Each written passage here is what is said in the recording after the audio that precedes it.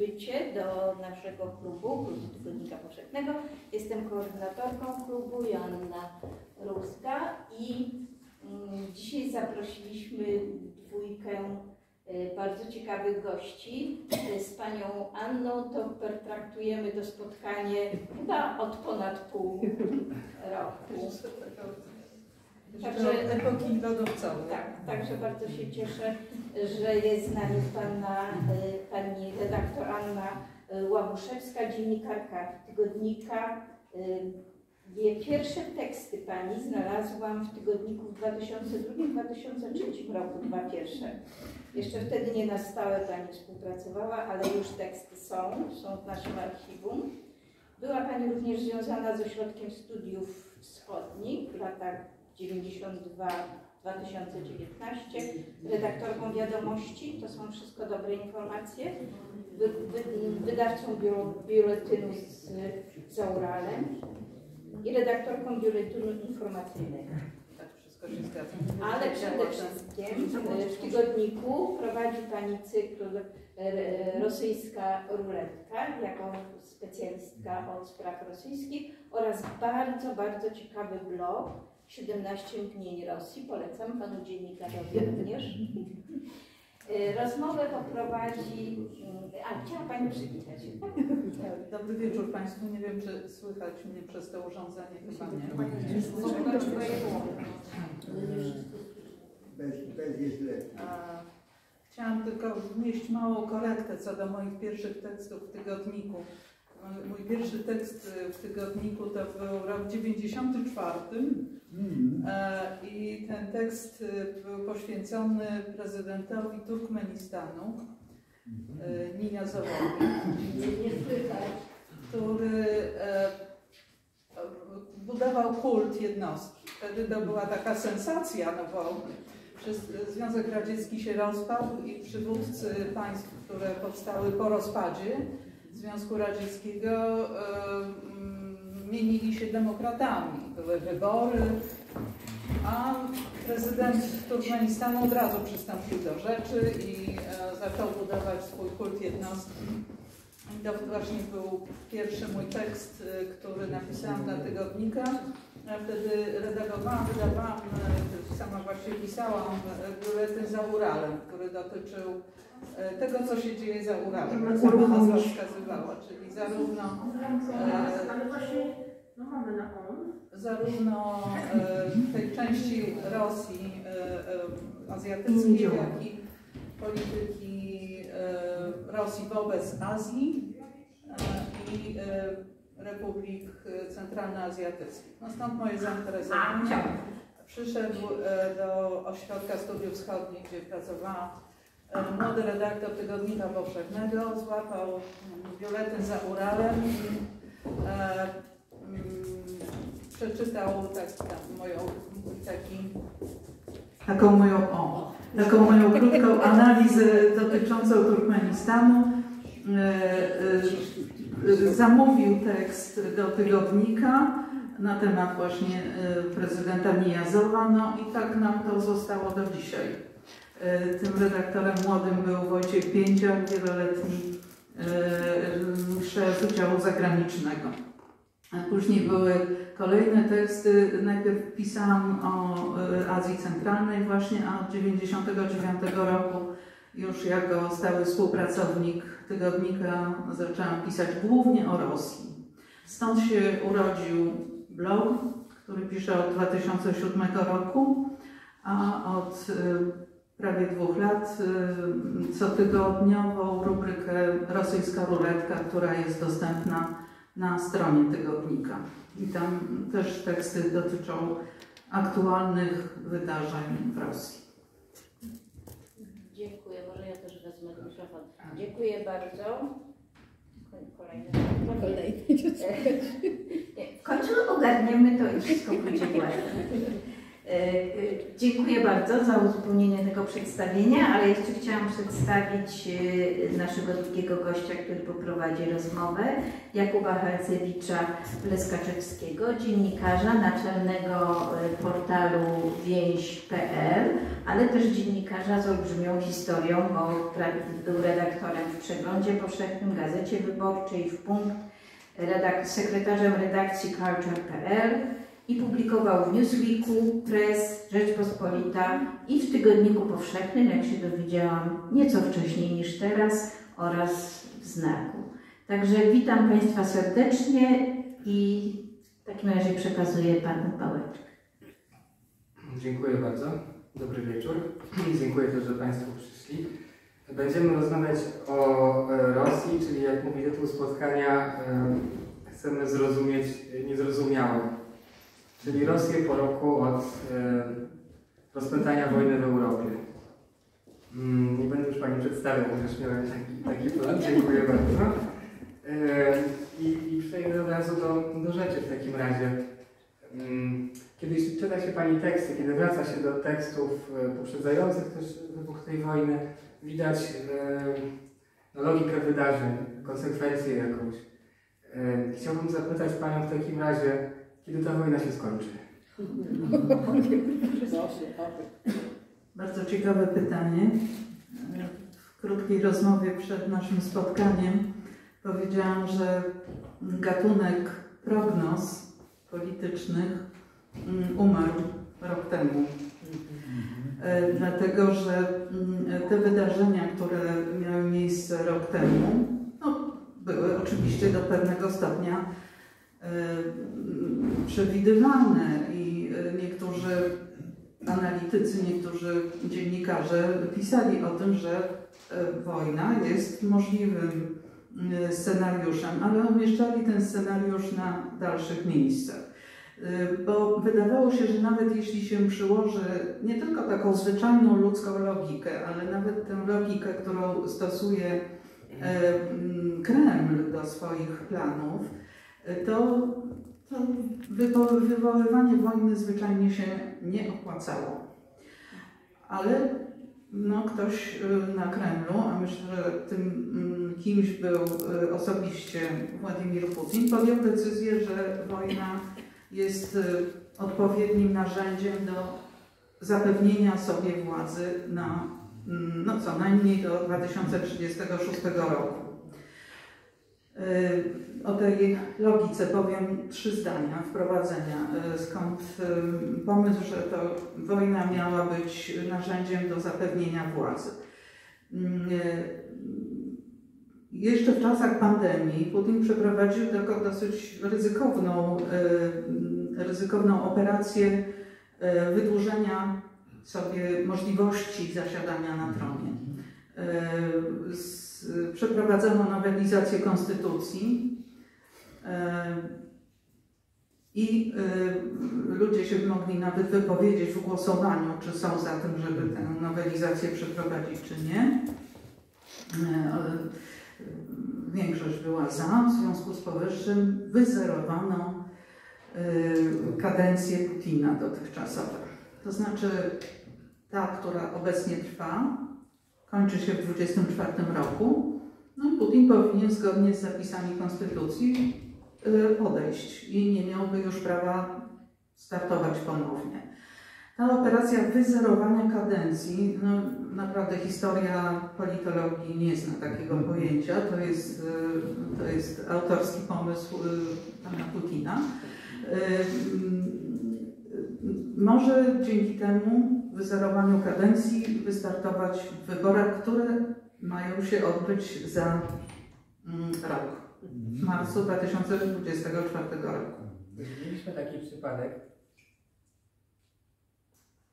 Mm, Taki przypadek w Polsce jakiś czas temu, że uznano, że wyboru sędziów do Trybunału Konstytucyjnego nie było. Na przykład. Więc Może wyboru prezydenta Rosji też nie było po prostu wcześniej.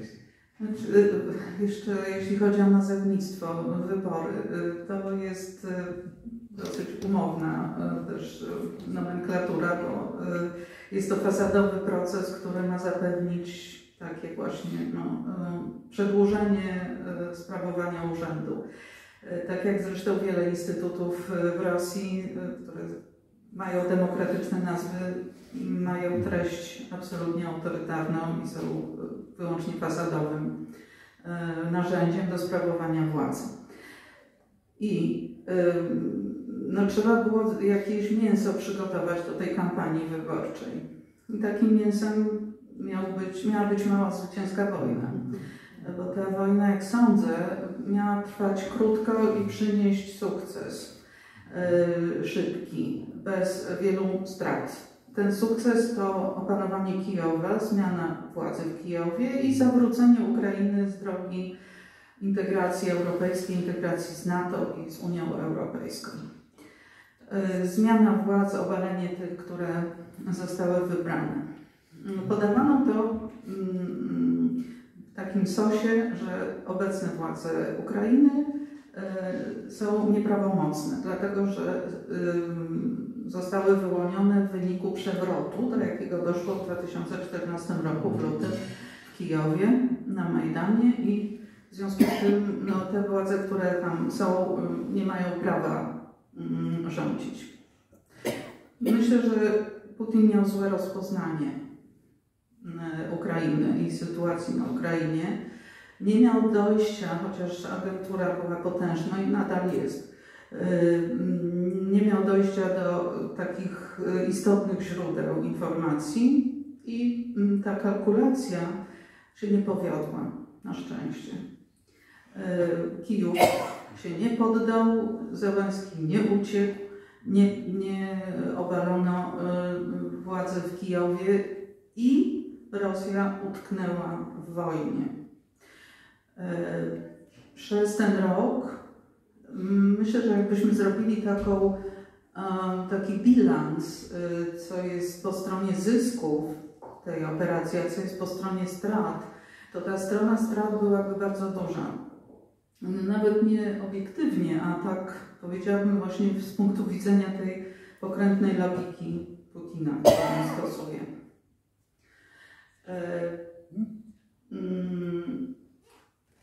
Mm, Jego, jego y, widzenie Ukrainy poznawaliśmy kilka razy podczas y, konferencji prasowych albo mm, y,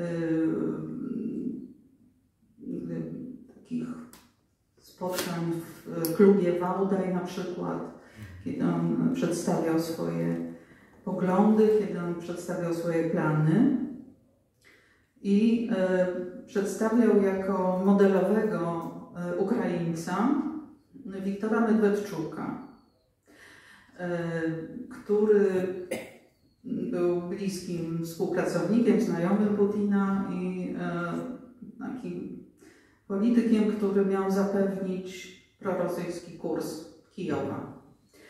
Putin mówił o nim właśnie, że jest to modelowy y, Ukrainiec, syn człowieka, który walczył w UPA i polityk, który właśnie widzi swoją y, przyszłość i swojego kraju w ścisłym sojuszu z Rosją. Że to jest ta racja stanu Ukrainy, która umożliwi jej w ogóle istnienie. A wszelkie inne no, są przez Putina e, klasyfikowane jako coś, co nie ma prawa bytu. Do tego, że wojna może wybuchnąć, e, mogła skłaniać też linia propagandy. E, Jeśli się otworzyło rosyjską telewizję przez ostatni rok przed inwazją, to właściwie trudno było się oprzeć wrażeniu, że cokolwiek innego widać z Kremla niż Ukrainę. No, Ukraina była dominującym tematem. Nawet nie y, Europa, nie Stany Zjednoczone, które oczywiście też się zmieniały, y, im było bliżej tego, tej decyzji o, o inwazji, zmieniały się w coraz bardziej zaciekłego wroga. Y, Ale właśnie Ukraina była na tym celowniku i w bardzo, myślę, przemyślany sposób ta linia propagandy była kształtowana po to, żeby pokazać, jak, jak Ukraina cierpi, jak Ukraina gnębi ludzi na Donbasie, I jak prawidłowe było mm, e, przechwycenie z rąk Ukrainy Krymu w 2014 roku. To, było, mm, to był leitmotyw, który się powtarzał właściwie codziennie. Jak się włączało telewizję i oglądają, oglądam telewizję, zresztą w tej chwili też oglądam, bo omijając różne bariery, ym, ym, zarówno ten podstawowy przekaz w programach informacyjnych, jak i zwłaszcza w takim gatunku talk show prowadzonym przez namaszczonych na Kremlu y, kapłanów tej propagandy, no zwłaszcza tam właśnie wypowiadający się ludzie, szykowali opinię publiczną w Rosji na to, że trzeba będzie zwalczyć tego wroga, który wyrasta w Ukrainie. Zaczęła Pani mówić o bilansie. Mm, Powiedziała Pani, że więcej jest tam strat. Ale czy mogłaby Pani powiedzieć więcej o tym, o tym bilansie tego roku? Czyli w jakim miejscu jest teraz Rosja jako kraj, ale też rosyjskie społeczeństwo? y, Co wiemy, co przypuszczamy? Za dużo informacji nie mamy na temat tego społeczeństwa. E, Rzeczywiście jest e,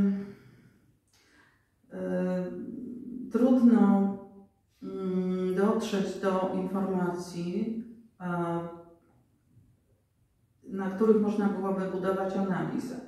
Mamy do czynienia z e, mediami, które działają w warunkach ścisłej cenzury wojennej. To, co można powiedzieć po roku, to Rosja stała się państwem, e, nie wiem, nie potrafię powiedzieć, czy jeszcze e, autokratycznym, czy już dyktaturą, e, gdzie obowiązują prawa wojenne.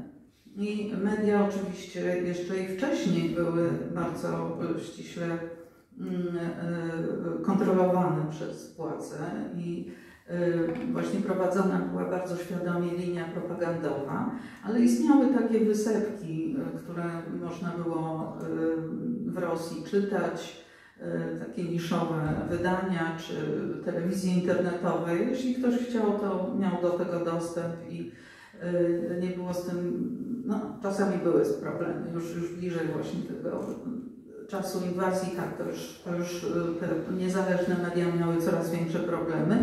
I nawet przyznanie pokojowej Nagrody Nobla naczelnemu Nowej Gazety, Dmitrijowi Muratowowi, właściwie nie uratowało sytuacji tych mediów, bo mm, wprowadzono taką kategorię jak agent zagraniczny i organizacja niepożądana i przyklejano te łatki tym, którzy mm, byli niewygodni władzy. Media również mm, do tej kategorii zaliczano i zamykano usta kolejnym redakcjom. Niektóre redakcje się przenosiły za granicę i stamtąd nadawały. I właściwie teraz się zaczęła jeszcze taka akcja, żeby one były y, zakazane w Rosji, żeby nie było do nich dostępu w Rosji. Y, więc tutaj y, co jest, co jest stratą? No, dla społeczeństwa oczywiście dostęp do, wolnej, do wolnych mediów jest ewidentną stratą. Te media, które działają, sączą propagandę, która jest akceptowana przez, przez Kreml, czy wręcz lansowana przez Kreml. I tylko to może, może istnieć w Rosji. Jakie straty poniosło społeczeństwo? No, jeszcze bardziej ukrócono ten mały margines wolności, który istniał jeszcze do lutego 2022 roku. Jest takie powiedzonko rosyjskie, komu wojna, a komu mać radna. To znaczy, no, kto traci, jest wojna, to traci, ale są tacy, którzy zyskują na tym, że jest wojna. I, no, i są tacy, którzy robią kariery o których no, może się nawet słyszało przed wojną, ale y, teraz y, czują, że to jest ich y, czas i, i, i nabierają wiatru w żagle. Mówię tutaj o politykach no, albo ludziach, którzy chcieliby w polityce zaistnieć. Mm, na przykład taka kariera wyrosła jak Jewgeni Prigorzyn, O którym pisze Pani teraz? Tak, y, kucharz, właściwie to kryminalista, no, którego Putin znał jeszcze z czasów petersburskich i który miał fajną restaurację, gdzie można było zagranicznych gości przyprowadzać. I od tego się zaczęło. Y, Potem były różne zlecenia, mm, takie dyskretne powiedziałem, mm, które Kreml mu zlecał, a a czas wojenny dał mu szansę na to, żeby on zaistniał jako wręcz osoba znana szeroko w całym kraju. Yy, jeszcze straty. Straty na pewno odnotowuje biznes.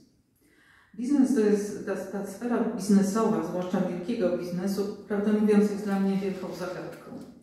Pisałam kilka miesięcy temu duże opracowanie dla Polskiego Przeglądu Dyplomatycznego o, o tym, jak się zachowuje właśnie ta klasa y, y, biznesowa, y, pierwsza dwudziestka powiedzmy, mm, najbogatszych ludzi Rosji.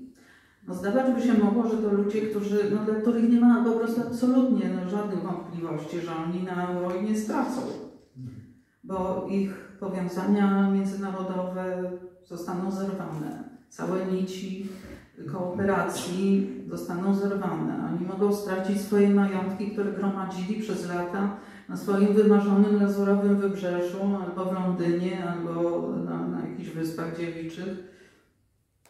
Więc powinni się przeciwstawić temu. No, wiedzieć Putinowi, no słuchaj, e, ale to naprawdę jest nie w stosunku do nas, dlaczego nam to robisz?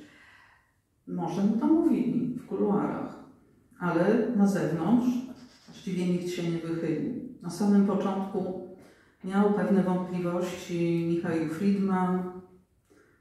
Nie podobało się to jeszcze takiemu bankierowi Olegowi Cinkowowi, który za to zapłacił tym, że mu ten bank odebrano i właściwie wypędzono z Rosji. E, No i reszta nie powiedziała nic, co mogłoby zaniepokoić Putina i działa dalej. Może mm, a jeszcze teraz y, nawet taki właśnie Prigorzyn powiedział im, że mają y, robić ściepy na wojnę. Mają wyskakiwać z tych swoich przerośniętych y, majątków, bo one, oni zawdzięczają to Putinowi. Teraz proszę bardzo, trzeba zapłacić. No ktoś musi za to zapłacić. No dobrze, a czy Rosja straciła inteligencję w tej wojnie? Od, od ym, rozpoczęcia tej pełnoskalowej wo- wojny mówi się, że bardzo dużo Rosjan z niej wyjechało. Jestem ciekaw, jakie jest znaczenie tej emigracji. Ym, Właściwie na zewnątrz bardziej chyba niż wewnątrz, jaką ona będzie, czy może odegrać jakąś rolę jeszcze. Ym, I jaka to jest strata dla Rosji? To jest świetne pytanie i świetne zagadnienie. Właściwie taka fala niezadowolonych, którą można byłoby zmierzyć, ruszyła dopiero we wrześniu, kiedy Putin ogłosił tak zwaną częściową mobilizację. I wtedy rzeczywiście kilkaset tysięcy ludzi wyjechało. I to niektórzy w popłochu.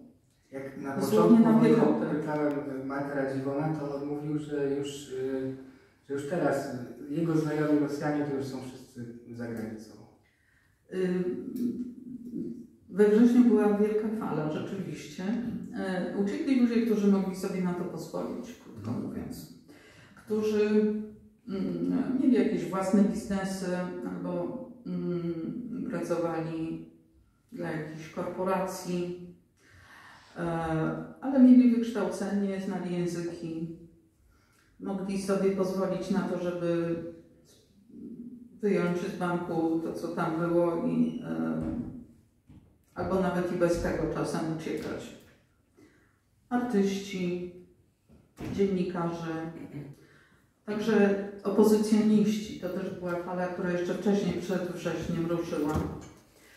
E, I mm, część tych ludzi właściwie została, e, znaczy za- zachowała zatrudnienie. E, Czytałam takie opracowanie o ludziach, którzy wyjechali do Ameryki Południowej.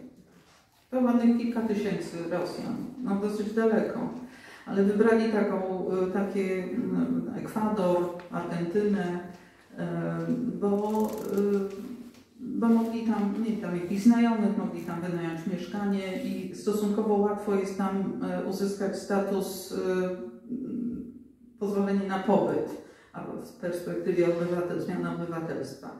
I bardzo często ci ludzie pracują nadal, na przykład w banku moskiewskim, albo wykonują jakieś projekty, bo są e, designerami. E, I nie zapali. Pracodawcy kombinują, jakby im tu poprzelewać pieniądze, to też te ścieżki rozliczeń bankowych zostały mm, poprzecinane. Ale bardzo wielu osobom, trudno mi powiedzieć jaki to jest procent, ale bardzo wielu osobom nadal udaje się utrzymywać y, pracę w Rosji. Więc w tym sensie mm, Rosja ich nie straciła. Oni zresztą myślą o tym, żeby wracać, jak tylko to będzie możliwe. Y, Była część taka tej emigracji rosyjskiej, która jeszcze właśnie przed wojną wyjechała. To mm, widać było mm, duży współczynnik takich wyjeżdżających wśród mm, współpracowników Nawalnego. Y, Nawalny, jak w 2018 roku mu pozwolono y, przygotowywać się do startu w wyborach prezydenckich, y, w rezultacie mu nie pozwolono wystartować, ale mm, na tym wstępnym etapie on właściwie przez rok jeździł po Rosji i organizował swoje kluby wyborcze, czy jak, jak, jak on tam to nazywał. I wokół tych klubów y, się organizowali ludzie, mm, sztaby, o, sztaby to się nazywało, takiego sztaby. I wokół tych sztabów się y, organizowali ludzie, którzy byli jego zwolennikami. To przeważnie młodzi, wykształceni. mm, No to był fenomen wtedy w Rosji, dlatego że żaden z polityków tak nie robił wcześniej. To była wielka kampania, którą faktycznie no, y, zebrała ludzi o y, poglądach odmiennych od tych mm, wyznawanych przez Kreml i y, lansowanych przez Kreml, wymaganych dla zrobienia kariery. Po tym jak Nawalnego najpierw otruta, potem wsadzono do więzienia, do łagru, cały ten ruch stłamszono. Y, Rozgoniono te sztaby. Wiele osób wsadzono y, pod jakimiś wymyślonymi y, powodami. Niektórzy siedzą jeszcze do tej pory w areszcie i czekają na proces, ale bardzo wiele osób z tych właśnie sztabów wyjechało i oni mm, założyli takie ośrodki pomagające tym, którzy uciekają przed Putinem. Pomagają w znalezieniu mieszkania, pracy, y, czy umożliwiają wyjazd gdzieś dalej, bo bardzo dużo takich y, osób wyjeżdżało tam, gdzie było najłatwiej, czyli do Gruzji, do Armenii, do Turcji, do Uzbekistanu, do Kazachstanu. No i stamtąd próbowali, próbują nadal przedostawać się gdzieś dalej. E, To jest oczywiście też moim zdaniem bilans strat dla Rosji. No, pozbycie się mm, jeszcze w sytuacji narastającego od wielu lat kryzysu demograficznego, y, mm, miliona ludzi y, w wieku demograficznie interesującym, no, jest dla takiego państwa na pewno stratą już choćby z tego względu. Jeżeli się do tego doda te wszystkie straty, które Rosja ponosi na froncie, to faktycznie y, kolejna pozycja w bilansie strat, niewątpliwie tak. O wyjazd e, inteligencji pytam właściwie dlatego, bo interesuje mnie, czy w Rosji jest ktoś, kto może e, buntować ludzi i czy jest jakiego, jakieś zapotrzebowanie też na e, społeczne, na osoby, które będą buntować ludzi. Jak zastanawiałam się nad tym, w jaki sposób określić y, strategię y, społeczeństwa rosyjskiego w tej sytuacji, to y, pomyślałam, że to chyba najwłaściwiej nazwać taką pozą przyczajenia się. Y, mm, że no zobaczymy, co będzie dalej. I zdecydujemy na razie, póki można, to, to jesteśmy tak, ale co myślimy, nikomu nie powiemy. Też tak jak gatunek prognoz umarł rok temu, tak i socjologia umarła rok temu, bo ma żadnych miarodajnych sondaży, żadnych.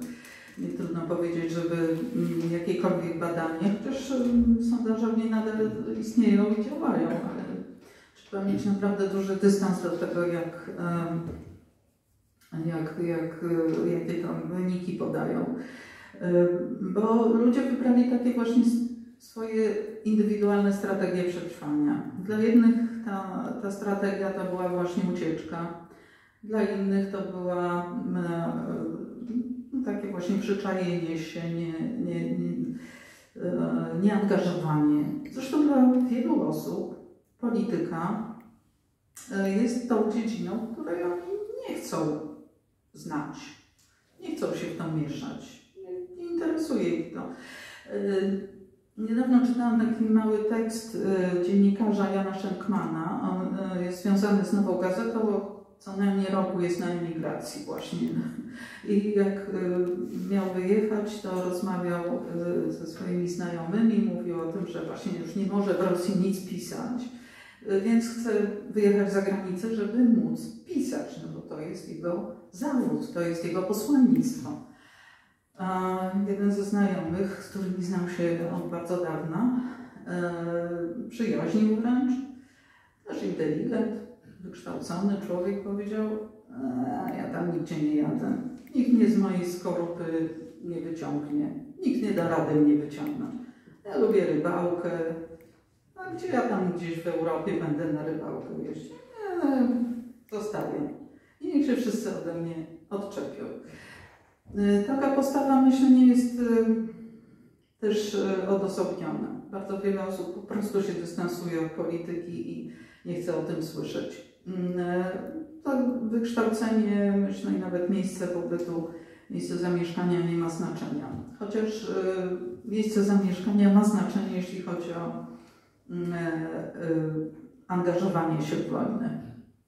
Bo też wiele osób zwróciło uwagę, zwłaszcza tych, którzy się e, przyglądają wojnie i samym działaniom e, związanym z wojną, że e, ci, którzy zostali zmobilizowani do armii, poszli walczyć, to są ludzie z prowincji.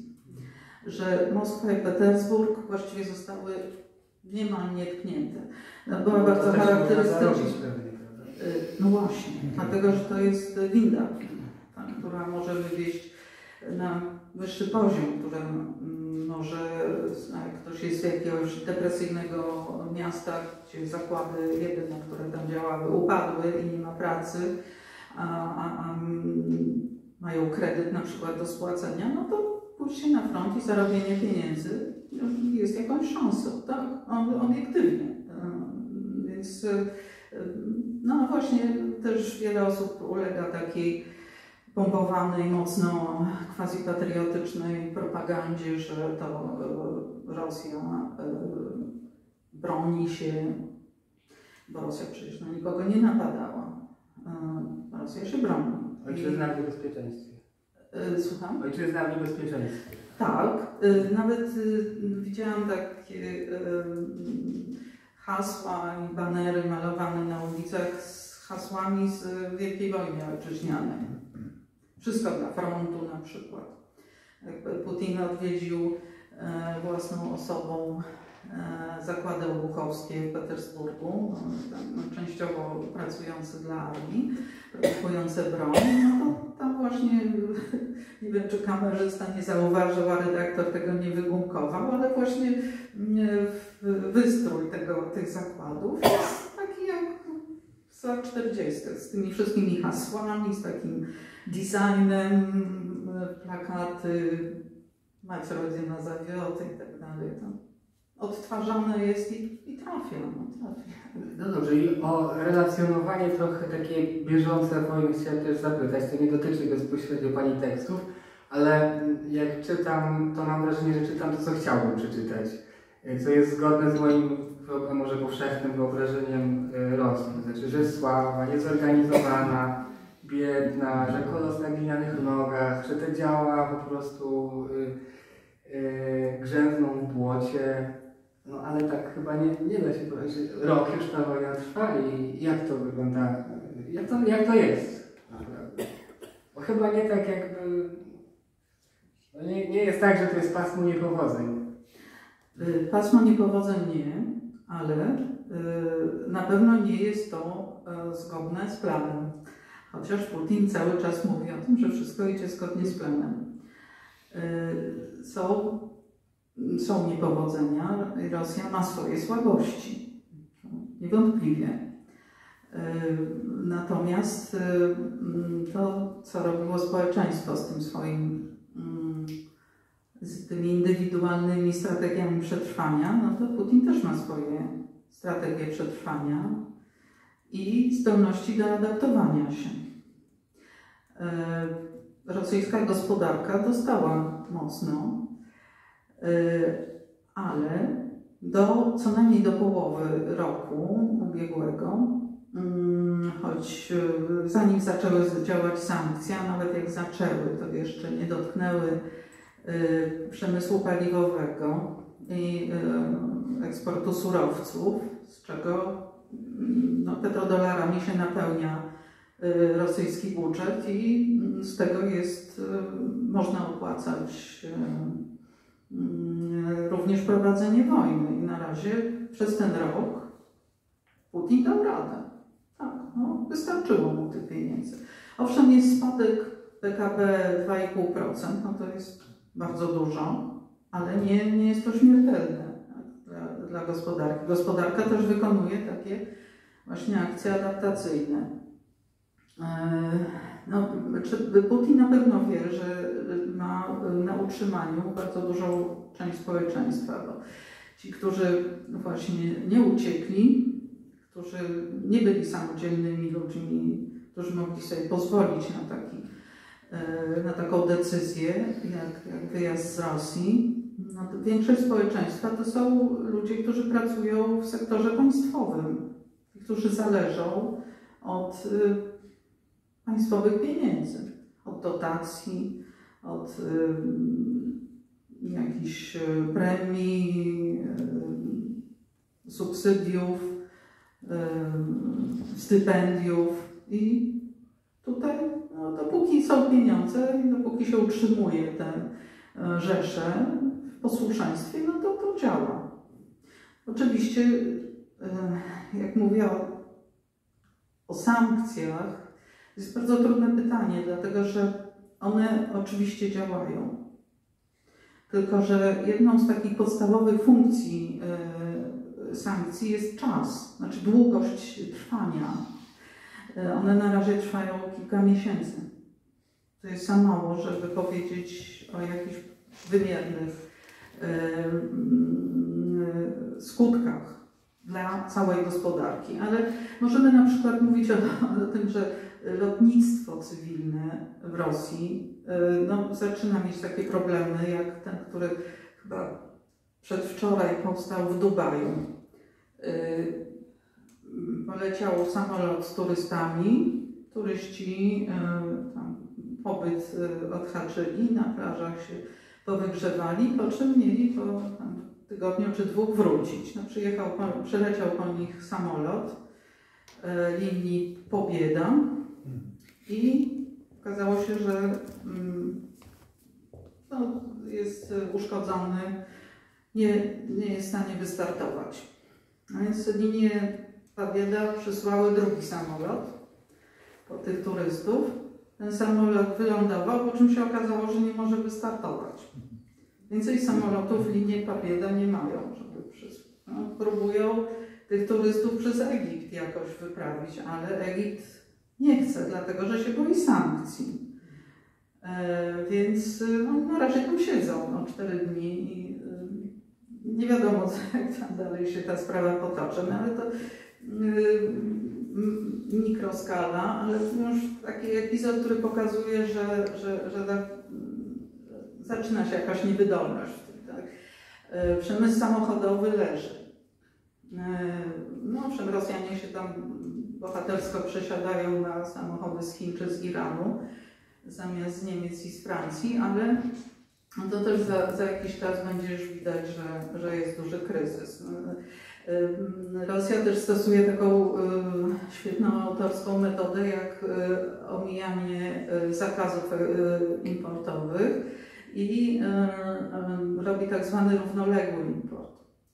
No, też taki wynalazek, e, powiedziałabym, autorski ekipy Putina, e, czyli albo robi takie bypassy, tak, czyli nie bezpośrednio z kraju producenta sprowadza coś, tylko tam przez Kazachstan powiedzmy. No, Jak się spojrzy na wskaźniki e, w handlu Rosja-Kazachstan, no to one wzrosły o jakieś niebotyczne wartości. E, No więc próbują, tak? To jest tak, że mm, y, to samo dotyczy broni. Tak? Ponieważ no rzeczywiście część czołgów czy tam tych pojazdów opancerzonych ugrzęzła w bagnach. Jest już nie do odtworzenia. E, Ale zakłady y, zbrojeniowe pracują. E, I nawet jeśli tam nie mają jakichś podzespołów, bo one były zagraniczne, e, mm, no to też próbują właśnie jakimiś bypassami obchodzić to, e, produkować swoje, zastępować i, e, no i pokazać, że nie są bezbronni, że cały czas mogą trwać w tym. To chciałbym w takim razie jeszcze wrócić do tego, co pytałem, bo mm, po pierwsze, w takim razie, jakie, jakie Pani sobie wyobraża y, scenariusze zakończenia tej wojny? Bo jednak jakieś są, coś musi się zdarzyć, żeby się skończyła i to przynajmniej dwie skrajności można sobie wyobrazić bardzo łatwo. I jeszcze jak Putin, jak on się potem, jak się pomylił? Dlaczego, się aż tak pomylił, że ta wojna mm, tak y, wygląda? Pani powiedziała, że to mm, złe rozeznanie. Czy, czy na te dwa pytania może Pani jeszcze powiedzieć trochę więcej? Wojna się na pewno zakończy, tylko nie wiemy kiedy. Jak mówię, prognozy umarły. Ale możemy się oczywiście mm, pobawić e, w przewidywanie scenariuszy różnych. Jak patrzę na to, co przecieka z Kremla i z tego, co, czym zajmują się urzędnicy w otoczeniu Putina, no to ich priorytetem jest przeprowadzenie wyborów za rok. Oni mają tak, jakby mieli klapki na oczach i mm, y, do tego celu uparcie dążą. Celem jest zapewnienie możliwości głosowania w czterech regionach Ukrainy, które Putin włączył do Federacji Rosyjskiej 30 września ubiegłego roku. E, mm, I oni myślą takimi kategoriami. Oczywiście, że jakiś przynajmniej sukces, jeśli nie zwycięstwo w wojnie, daje da Putinowi paliwo do tego, żeby te wybory wygrać. Ale załóżmy, że mm, ci, którzy właśnie przygotowują te wybory którzy mm, mają wpływ na Putina i mogą mu powiedzieć, a, zacząłeś być takim obciążeniem dla naszego układu, że sorry, ale przesuń się. My tutaj mamy kogoś innego, kto uratuje sytuację. Sytuację, czyli nas. Nasz układ, który rządzi, który się Rosję, który mm, zapewnia stabilność państwa w jego granicach, zachowuje, zapewnia spokój społeczny y, i możliwość robienia biznesu. Z tobą dalej nie pojedziemy. Przesuń się. Może to jest y, jakiś scenariusz. Y, To są rozważania naprawdę wyłącznie mm, tak dla, powiedziałabym, gimnastyki umysłowej. Nie mam żadnych twardych danych, żeby twierdzić, że to jest, jest możliwy scenariusz. Ale wykluczyć go nie mogę. Y, Mówi się też o tym, że mm, dla zapewnienia y, właśnie stabilności państwa i zachowania y, Federacji Rosyjskiej jako państwa w całości jest przewrót wojskowy. No, też odhaczam to jako, jako ciekawy scenariusz, ale mm, armia nie wzmocniła swojej pozycji społecznej. Y, Więc czy to będzie siła, która da y, nowy rozpęd? Y, Pytał Pan o to, kto może na barykady mm, iść, kto może poprowadzić lud. Gdyby się zbuntował. Michał- Tak mówi o takim choćby intelektualnym e, pobudzaniu. Nawet Michał Chodorkowski wydał książkę pod koniec ubiegłego roku, w którym nawet rozpisywał takie scenariusze, jak to będzie. Kto chwyci za broń, gdzie powstanie barykada, nawet takie rzeczy opisał. Ym, No, jest myślę gotowy nawet opłacić taką, e, taką możliwość, żeby, mm, żeby ktoś e, wywołał rewolucję i żeby ta rewolucja mm, e, wygrała. A ile to kosztuje? Proszę zobaczyć, ile, na ile wyceniany jest majątek Chodorkowskiego. Ja myślę, że on jest w stanie zapłacić wszystko, żeby tylko Putina obalić. E, No i on e, oraz Gary Kasparow jeszcze kilku emigracyjnych polityków działają w tym kierunku. E, Na razie nie widzę, żeby powstał ruch oporu w Rosji. Chociaż były incydenty, które mogły świadczyć o tym, że pewne grupy niezadowolonych są. Mam tu na myśli na przykład ataki na y, wojskowe komendy uzupełnień. Kiedy przychodzili jacyś ludzie, wrzucali butelki z benzyną, to pomieszczenie płonęło, płonęły dokumenty, nie wiadomo było kogo potem powołać i tak kogo zmobilizować. Jak zginęła córka e, Aleksandra Długina Daria w zamachu, e, to mm, się ujawnił taki e, dziwny emigrant, były deputowany, który powiedział, że to jest robota jakiegoś tam, jakiejś tam właśnie grupy rewolucyjnej, nie zapamiętałam nazwy, bo właściwie poza tym jednostkowym incydentem potem ta nazwa się nie pojawiała. Ale to też było tak powiedziane, że to są takie grupy, które e, mogą wywołać e, zarzewie rewolucji w Rosji. Jak mówię, w tej chwili nie widzę, żeby to był ruch oporu, który mógłby mm, no, na taką skalę e, Rosję poruszyć. No, trzeba jeszcze popatrzeć na mapę czasem. Oczywiście, że rewolucja w Moskwie, na Krasnej Priesni, jakby powstała ta barykada, o której pisze Chodorkowski i gdyby wojsko przeszło na stronę rewolucji, gdyby Rosgwardia przeszła na stronę rewolucji i jeszcze tam parę osób y, powiedziało, że zapłaci duże pieniądze, żeby ta rewolucja wygrała mm, i poszliby na Kreml stamtąd, niedaleko. I e, wyciągnęliby Putina za fraki i powiedzieli, ty już tu nie rządzisz. No to może miałoby to oddziaływanie na mm, cały kraj. No bo Moskwa, bo Kreml i tak dalej. Ale to e, no, trzeba wiedzieć, że Putina chroni cała armia specjalnych służb, takich czy innych, dostępu do niego. On sam jest już od lat pogrążony w paranoidalnym strachu o swoje życie, więc nie sądzę, żeby się łatwo wystawił głowę, żeby, żeby ktokolwiek przyszedł i go w taki sposób utrącił. Czyli mamy jedną, e, jeden scenariusz, to jest chęć zachowania wpływu przez elitę i wyłonienie kogoś e, zamiast Putina.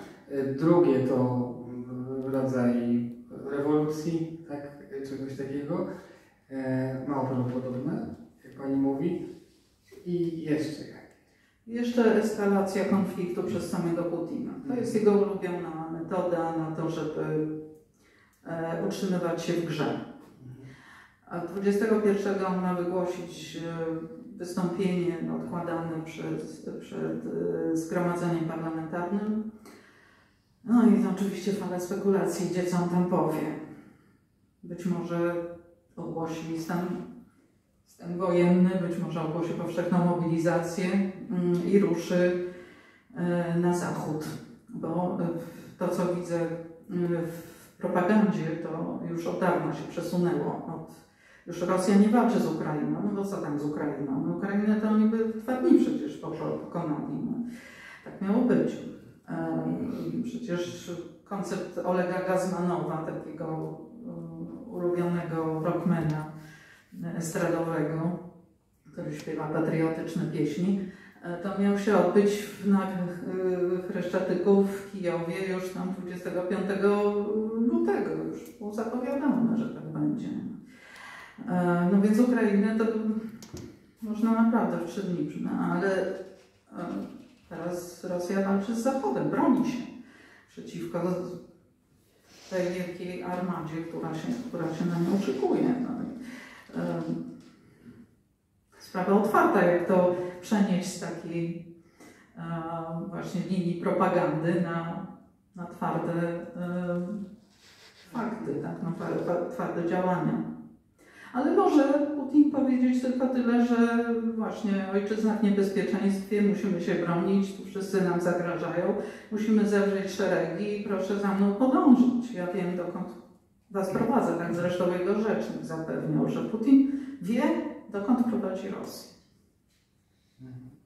Pytała Pani w jednym, tekstu, w jednym z tekstów, czy Putin ma duszę. I pisała, że po 22 latach panowania jest owładnięty tylko myślą o tym, jak zostanie zapamiętany y, w historii. Nie ma chyba teraz dobrych perspektyw, prawda? Czy w Rosji to wygląda inaczej? Czy z jego punktu widzenia to może wyglądać inaczej? Możemy tego nie rozumiemy. Jak, Putin ma swoją logikę, oczywiście. No teraz myślę, że od roku ym, trochę jest wytrącony z równowagi i z tego y, stracił trochę grunt pod nogami i pewność siebie. I ym, no, y, skokami po bramach się porusza, tak? Można tak określić jego, jego no taka powstańcza technika, tak, skokami po bramach. No, czyli tutaj za tym załomem się schronię, się przygotuję, tu jakiś atak wyprowadzę i y, jakoś to będzie. No, najważniejsza rzecz, no, się muszę utrzymać u władzy, dlatego że jeśli się nie utrzymam u władzy, no to jest koniec. To jest koniec. To mm, no, y, nie ma alternatywy. W związku z tym Właśnie komu wojna, komu rodna. Dla niego wojna jest tą matką rodzoną, tak, która mu daje możliwość utrzymania się u władzy. Jakkolwiek paradoksalnie to brzmi, choć ta wojna nie toczy się po jego myśli, e, choć cały czas trzeba włączać jakieś mm, alarmy i, i zmieniać e, trajektorię lotu, to ta wojna mu umożliwia, na razie przynajmniej, y, utrzymanie się u władzy. Jak długo to potrwa, jak długo on będzie miał jeszcze zasoby, żeby sobie to zapewnić, jak długo mm, nie powstanie pomysł, nie powstanie alternatywa y, w jego najbliższym otoczeniu, czy, czy wśród ludzi, którzy są w stanie zbudować alternatywę, no to, to będzie ta wojna trwała. A jeszcze jeden ze scenariuszy, który jest omawiany, o którym zapomniałam, e, że mm, Rosja, że Putin straci władzę, a Rosja rozpadnie się na części, na wiele części. No tak samo jak wszystkie inne scenariusze, o których tutaj mówiliśmy, no, jest tak samo możliwe, jak i niemożliwe.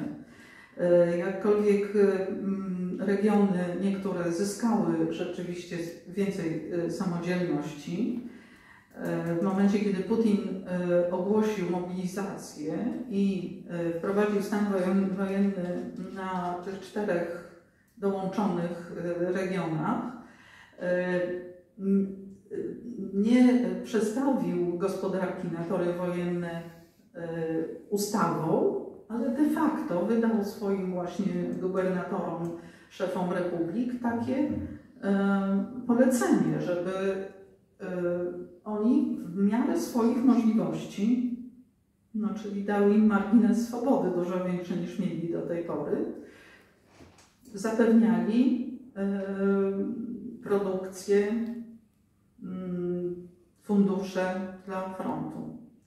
To, to, to duży wyłom w tym systemie władzy, gdzie mm, Kreml jest e, jedynym centrum decyzyjnym, e, skąd zsyłane są na dół po tym pionie władzy e, decyzje i e, ustalenia, a e, dół ma to realizować. No, się okazało, że dół musi mieć trochę więcej przestrzeni, co, co oni z tym zrobią, no zobaczymy. No, tak najbardziej chcielibyśmy zrozumieć tego, tego Putina i, i Rosję, której nie, nie znamy. Ja chciałbym się zapytać o taką rzecz. Mm, Pisała Pani też, że Putina można zrozumieć przez, przez jakieś jego domniemane upokorzenie doznane w dzieciństwie, y, które w jego głowie łączy się z rozpadem ZSRR.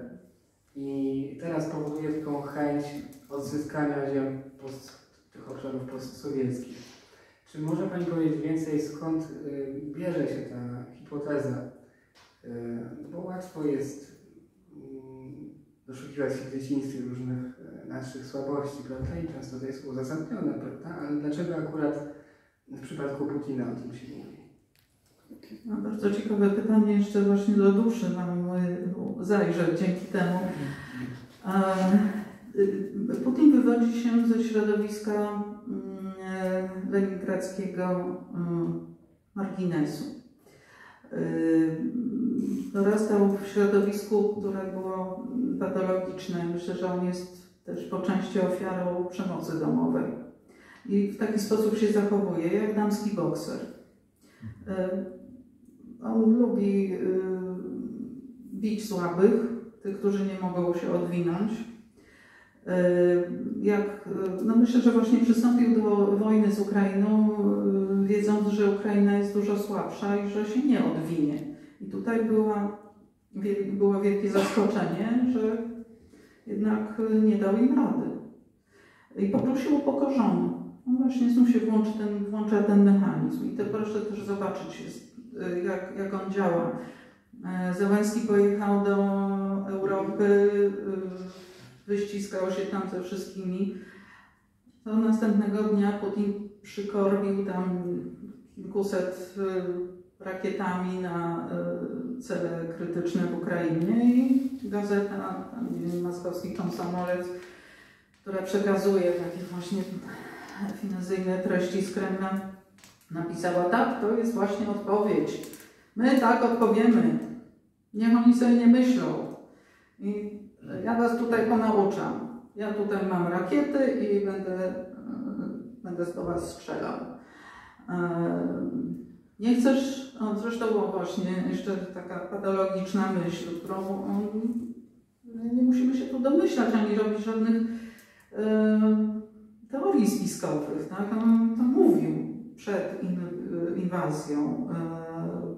Powiedział, no nie podoba ci się kochana, musisz pocierpieć. No, no, wziął sobie taką wulgarną czastuszkę, tak? która mówiła o mm, chęciach nekrofila. Tak? No, on się nie wstydzi tego, on to mówi. On, to, on jest zbudowany z takich właśnie e, e, prymitywnych, brutalnych e, myśli, powiedzonek, e, zasad działania. On się wziął nie tylko z tego leningradzkiego podwórka, ale też i ze wszystkich tych stopni, które on potem przechodził. To zarówno KGB uczyło tego, e, później Petersburg lat 90. to przecież jedna wielka kryminalna historia, w której on uczestniczył, w której się uczył zasad działania. Niewątpliwie tak, no i to przeniósł. Przeniósł do e, robienia wielkiej polityki. która łączy się u niego właśnie z tą chęcią y, odbudowy imperium, można powiedzieć. I o to chciałem jeszcze zapytać, o ten y, wątek imperialny, na ile on jest specyficzny dla Putina i jego partii, y, a na ile jest też obecny w innych nurtach opozycji, czy jest? Bo na przykład jak się czyta dialogi y, Michnik-Nawalny, no to Michnik to było wydane już na wiele lat temu, ale Michnik pytał też o politykę imperialną, o stosunek do Ukrainy i tak. I Nawalny krytykował y, rosyjski imperializm, ale trochę w taki sposób, że wydaje się, że imperializm jest po prostu obecny jako norma, normalna część debaty publicznej w Rosji, że jest jakby, y, można powiedzieć, za nie wiem, rozwojem y, kapitału społecznego, przedszkoli i tak albo za imperializmem, nie? Czy, że, że to jest w obrębie debaty. Yy, chciałem zapytać, czy właśnie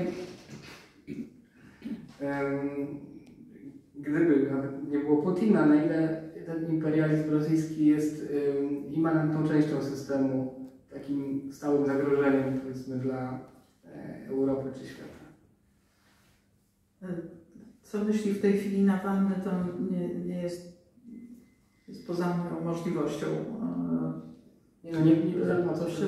Ale myślę, że warto przywołać jego postać, dlatego że y, on jest jednak przedstawicielem nowego pokolenia, dużo młodszego. Jeszcze taką cechą y, ekipy Putina jest to, że to są y, ludzie już,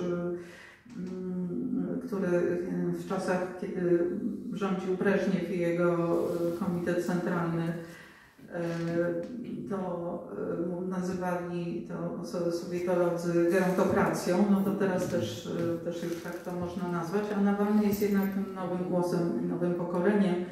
E, e, On miał taką nieostrożność, powiedziałabym, z której się potem tłumaczył, powiedzieć, że Krym, Krym to nie jest y, kanapka z kiełbasą, którą można sobie przekazywać z ręki do ręki, co odczytano w taki sposób, że on e, nie podważa tego, że Krym jest rosyjski.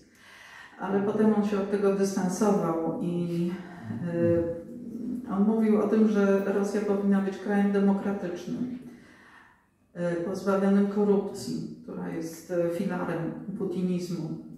I jeżeli się zwalczy te choroby w Rosji, to ona ma szansę być y, światłym, postępowym państwem, a nie, nie myśleć o imperializmie i o, o, o imperium, o budowaniu, czy odzyskaniu pozycji imperium. I wtedy ma szansę na zdobycie pozycji państwa przodującego, mocarstwa, ale nie strasznego mocarstwa, tylko pokojowego mocarstwa, które współpracuje. E, No, tam piękne marzenie, powiedziałabym. A dlaczego Nawalny żyje w ogóle? No, Niemców na przykład nie żyje. No, Nawalny też miał nie żyć. Ale To mieli zabić, no, tylko że splot okoliczności sprawił, że przeżył. Ale on też miał nie żyć. Tak? Jeszcze myślę, że takie pytanie powinno tutaj zwłaszcza paść, to znaczy wojna w Ukrainie jest em, poza wszystkim także wojną bluźnierczą. Putin usprawiedliwiał ją podobnie jak em, zajęcie Krymu słowami Jezusa z Ewangelii, prawda? Czyli nikt nie ma większej miłości od tej, gdy ktoś życie swoje daje za przyjaciół swoich. E, Czy może Pani e, powiedzieć też o tym religijnym aspekcie wojny? E, nie wiem, czy to jest upadek trzeciego Rzymu na przykład, czy no, jednak cerkiew zaangażowała się. E, Putin jest ateistą, chociaż się stroi w piórka e, człowieka wierzącego, no bo tak e, czasami mu to jest do tego potrzebne. Utworzył, znaczy używa,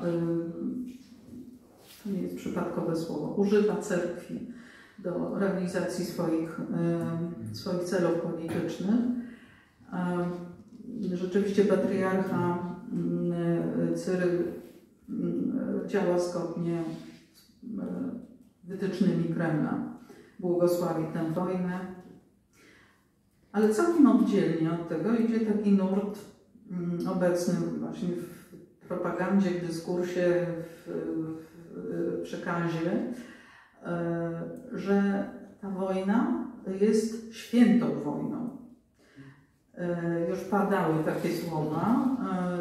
E, Nie tylko jest to nawiązanie do tej sakralnej wojny, podstawy religii putinowskiej, czyli zwycięstwa w Wielkiej Wojnie Ojczyźnianej w 1945 roku, ale święta wojna, która ma zniszczyć satanizm, satanistów, którzy siedzą w Kijowie e, i ludzi Zachodu, którzy sprzeniewierzają się zasadom, tradycjom, e, którzy mm, są wypaczeniem idei człowieczeństwa. Mm, Tak jest, tak, tak to jest e, pokazywane. I e, to, że Putin się do Ewangelii e, odnosi, no myślę, że jest to kolejny cyniczny e, zabieg, który on w pełni świadomie stosuje. E, Myślę, że będę chciał Państwu oddać jeszcze mikrofon, a a chciałbym na koniec zapytać też, jak się, jak się Pani pisze o Rosji, jak się Pani poznaje ten świat, który, jak szukałem tutaj em, książkach, tekstach. Chciałem sobie chciałem znaleźć coś głębszego o Rosji, ale jedyne co trafiłem to, że jest obca po prostu. Znaczy na przykład taki mamy zbiór esejów w Więzie, wydaliśmy Rafała Marcelego Blita, który w 1933 roku pisał Rosja oderwana od reszty świata europejskiego, przede wszystkim schizmą, nie przeszła normalnej ewolucji państwotwórczej. Co gorsza, u zarania swych dziejów dostała się pod jarzmo tatarskie, które pogorszyło jeszcze to cofnięcie dziejowe. E, No, czy to jest tak, że Rosja jest nam y, jakoś obca? Czy Pani ją odbiera jako obcą? Co Panią fascynuje, kiedy Pani o niej pisze już tyle lat? Y, Jak się o niej pisze? Mm, Z kim Pani rozmawia? Y, Do kogo można dzisiaj zadzwonić na przykład, żeby dowiedzieć się o tym, jak jest w Rosji? Proszę powiedzieć trochę o swojej fascynacji i o pracy. No może na temat na oddzielne spotkanie. E, mm, Zainteresowałam się Rosją przez język. Ja jestem filologiem z wykształcenia. Język jest dla mnie e, no tak, najbardziej fascynującym przedmiotem badań. Potem zostałam jeszcze dodatkowo politologiem i e, z kolei mm, przedmiotem zainteresowania politologa są politycy i ich kraj. Ja mm, musiałam wygasić jako analityk mm, sympatię do szczurów, którym się przyglądam na co dzień. E, Rosja em, jest niejednoznaczna i e, Myślę, że na tym polega e, fenomen. Czy jest nam obca? No, w pewnym sensie tak. E, Chociaż myślę, że e, gdyby tutaj wpadł Jewgenij Prigorzyn, e, to byśmy z nim specjalnie nie pogadali, nie znaleźli wspólnego języka. Ale gdyby przyszła na przykład Jelena Osipowa, e, malarka, która od początku inwazji wychodzi na indywidualne protesty na Nevski Prospekt i maluje e, antywojenne plakaty, stoi z nimi, wokół niej się gromadzi e, e, gromadzą zwolennicy Putina i ją opluwają. Więc gdyby pani Jelena Osipowa tutaj przyszła i opowiedziała o swojej historii aktywizmu, e, to jest starsza osoba, ona ma 78 lat, e, no, jest bez przerwy tam ciągana e, przez policję i e, teraz była wystawa mm, jej prac e, w siedzibie Jabłoka, partii opozycyjnej e, w Petersburgu. Te jej prace powisiały tam jeden dzień, bo policja przyszła na tak zwaną bombę, czyli rzekomo ktoś zadzwonił, e, że w siedzibie Jabłoka jest podłożona bomba, więc przyszli sprawdzić, no wpadli z tragarzami, zdjęli wszystkie e, prace Osipowe i teraz będzie ekspertyza orzeka, czy ona dyskredytuje armię rosyjską, czy nie. Więc gdyby ona tu przyszła, to byśmy sobie na pewno pogadali. No, o tyranii, o, o sztuce, o, o religii, o aniołach. Mnóstwo tematów by się na pewno. No, o Leningradzie, ona pochodzi z takiej rodziny, która przeżyła blokadę Leningradu. O kłamstwie, o władzy, o, o Putinie, o jego wojnach, o, o, o nieszczęściach, o tym, jak, jak władza jest niesprawiedliwa. Znaleźlibyśmy mnóstwo tematów. No. Więc, no, a, a Jelena Ospowa nie jest jedyną osobą, z którą można byłoby porozmawiać. No. Ludzie sztuki, tak, no właśnie tu jest jeszcze jeden też podział i jeszcze jeden y, bilans y, strat. Bardzo wiele osób y, wyjechało. Ci, którzy zostali, też są poddawani opresjom różnym. Zdejmuje się z repertuaru teatrów y, spektakle, które były reżyserowane przez tych, którzy wyjechali albo y, przez, y, grane przez aktorów, którzy zajmują antywojenną pozycję postawę i no to też jest wielka strata dla, dla, dla kultury rosyjskiej z kolei, która została wzięta pod bucior wojskowy. I, mm, no tutaj też więź europejska została przerwana, myślę. Czerpanie y, przez, y, z europejskiej kultury przez kulturę rosyjską no, w tej chwili jest niemożliwe, jest zatamowane. I to mówię nie tylko o, o teatrze, filmie, ale nawet o literaturze, czyli takiej no, sztuce, która trwa dłużej.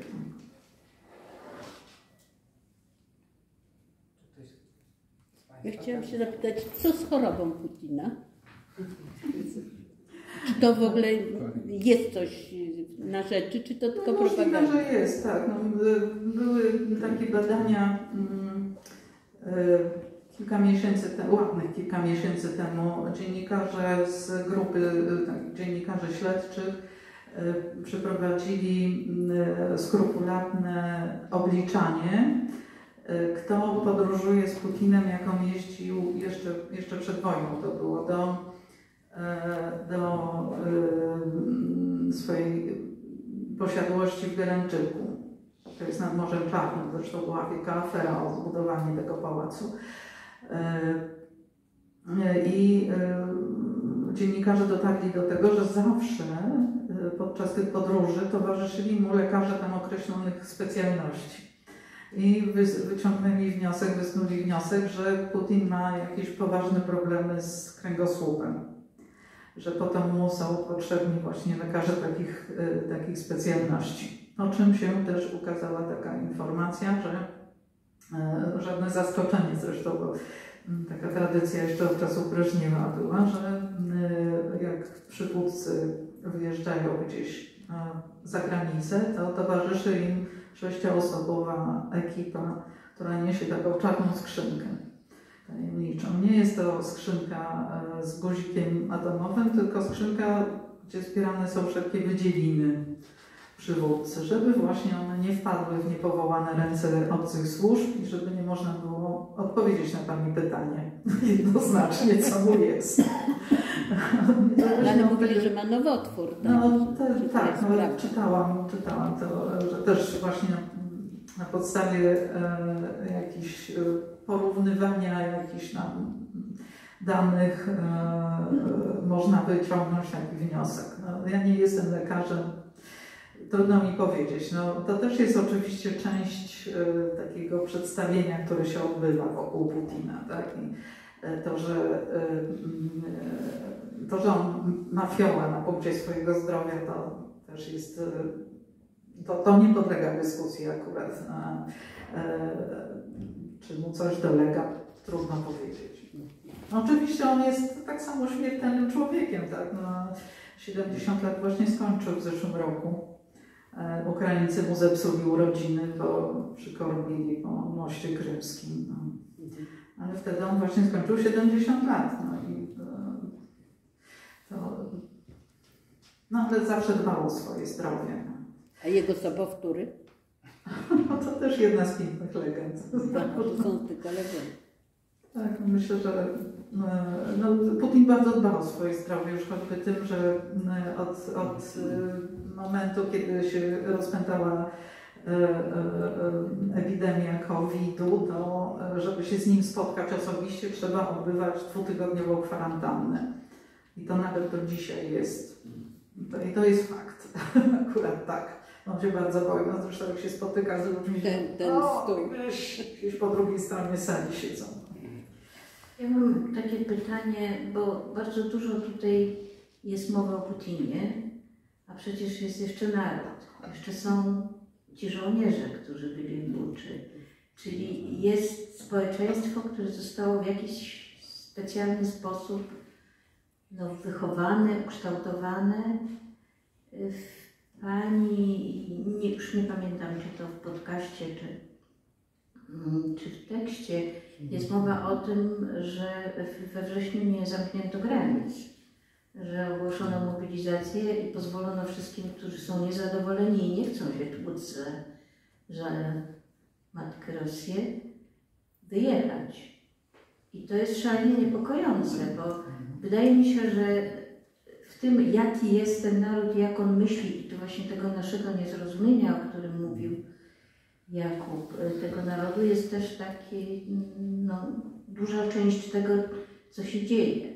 A drugie takie podpytanie może jest, jak Pani widzi odpowiedzialność Zachodu za to, co się dzieje? Y, To jakie jest społeczeństwo i że stać e, armię na to, żeby wywozić pralki i lodówki z Ukrainy, że to jest, no to jest taki trofej, tak? Trofeum. E, Po to poszli na tę wojnę. E, Ja się nie mogę odkleić od Putina, bo powiedziałam o nim, że on jest takim właśnie dzieckiem e, patologicznej rodziny i e, ma wykształcone takie odruchy właśnie przemocy domowej, to dotyczy nie tylko Putina. To jest bardzo szeroki problem. E, Swego czasu, e, jak jeszcze mogły działać e, w miarę swobodnie fundacje pomocy ofiarom przemocy domowej, no to historie, które tam przewijały się przez, przez, przez narrację tych, tych y, ludzi, którzy tam byli zaangażowani, no po prostu włosy na głowie y, podnoszą. Y, Czy to jest tylko rosyjskie? Nie, no patologii mnóstwo jest we wszystkich innych społeczeństwach również, no ale tam, y, ponieważ jest wojna, więc to ma szczególne znaczenie, tak? Do nas docierają takie opisy mm, poprzez media społecznościowe, na przykład opisy zachowań, które właśnie stawiają włosy na głowie. No, choćby znowu przywołam Jewgenia Prigorzyna i jego y, grupę Wagnera, y, która publikuje y, już nie jedną taką scenkę z ukaraniem tego, który się nie, y, nie sprawdził, tak, który nie, nie, zachował się nielojalnie. No więc tak, no, to jest ogromny problem. W jaki sposób wychować społeczeństwo do y, zachowań y, no, zgodnych z normą. Tak? No, duża praca, na pewno. Co do Zachodu, no tak, jest y, takie y, powtarzane teraz często y, no, taka opinia, że Zachód wychował Putina i że w związku z tym no, teraz powinien ponosić konsekwencje tego. E, Putin stosował wobec Zachodu taką metodę jak, jak w mafii, tak? że e, ci kupował ludzi, tak? albo zastraszał. E, Proponował współpracę bardzo intra- intratną, tak? Tańsze, dobre surowce. Bierzcie kupujcie, bądźcie naszymi przyjaciółmi, to było hasło. Pamiętam, jak pojechał do Niemiec i powiedział na zebraniu z biznesem niemieckim i tam z politykami niemieckimi, e, to czym wy chcecie palić w piecach? Drewnem? No ale drewno to też jest u nas na Syberii, wy tutaj nic nie macie. E, No i tak, no kupił przyjaciół, którzy podejmowali decyzje mm, zgodne z jego interesem. I próbował tak też tę zasadę omerty, którą stosuje wobec rosyjskiego biznesu, stosować wobec e, zagranicznego, zachodniego biznesu. Zresztą niektórzy się dawali kupować. E, I to wychodziło w takich dziwnych sytuacjach, jak zresztą większość takich e, grzechów, które mm, Putin chciał ukrywać. Tak? Kiedyś była zła pogoda w Moskwie, to było wiele lat temu y, zła pogoda w Moskwie i y, samolot, y, nieduży samolot pasażerski, zamiast y, wystartować, to się z pasa y, startowego y, stoczył i y, zginęli na pokładzie y, ludzie, którzy tam byli, między innymi szef francuskiego koncernu Total, który jak się okazało przyjechał. Na nieoficjalne, w ogóle nikomu nie, nie, nie, nie, zakomunikowane rozmowy w Moskwie. No i e, myślę, że takich szefów totalu e, Putin miał też kupionych. No to też to oczywiście działa do pewnego stopnia. No, teraz widać, że już przestanie działać, on będzie musiał mm, szukać innych e, sposobów i innych też no wiem, sposobów współdziałania, bo mm, rozmawia od czasu do czasu jednak z Zachodem, z niektórymi politykami. A co z tymi 100 tysiącami zabytych, którzy wrócili do Rosji w, w trumnach? To jest bardzo ciekawe zagadnienie. E, Ministerstwo Obrony oficjalnie podało raz, jeden, jedyny komunikat o ofiarach śmiertelnych. To było miesiąc po rozpoczęciu inwazji. Wtedy powiedziano bodajże o tysiącu ofiar. Nie pamiętam dokładnie tej, tej liczby. E, Ukraińcy podają codziennie. Teraz widziałam na, na liczniku 139 tysięcy. No trudno mi, się, jak siedzę w Warszawie, zweryfikować te liczby. E, Pamiętam, że Wojciech Pięciak, o którym dzisiaj mówiłam, jak e, omawialiśmy jakiś tekst na początku e, inwazji, powiedział, no ale przecież zobacz, no, e, w Afganistanie zginęło 14 tysięcy ludzi, a ruch społeczny e, no, spowodował, że mm, władze musiały zakończyć tę wojnę. Tak? A nawet w Czeczenii, mm, jak była e, druga wojna czeczeńska, bardzo brutalna, okrutna, też ładunek 200, e, czyli zabici, byli przywożeni, no to Komitet Matek Żołnierskich był mocną siłą, która była w stanie też e, no przynajmniej obudzić jakieś, jakieś reakcje, jakieś sumienie. E, Teraz nic takiego się nie dzieje. Jeżeli się zrywają jakieś głosy wdów czy, czy matek e, żołnierzy, którzy być może zginęli, a- może na razie są wysłani po prostu na front, to one są takie, a dlaczego nasi chłopcy nie mają ciepłych skarpet? Dlaczego nie mają broni? Dlaczego ich nie wyszkolono, tylko tak rzucono gdzieś do rowu? E, No to, to są takie reakcje. Nie ma, nie ma takiego ruchu oddolnego.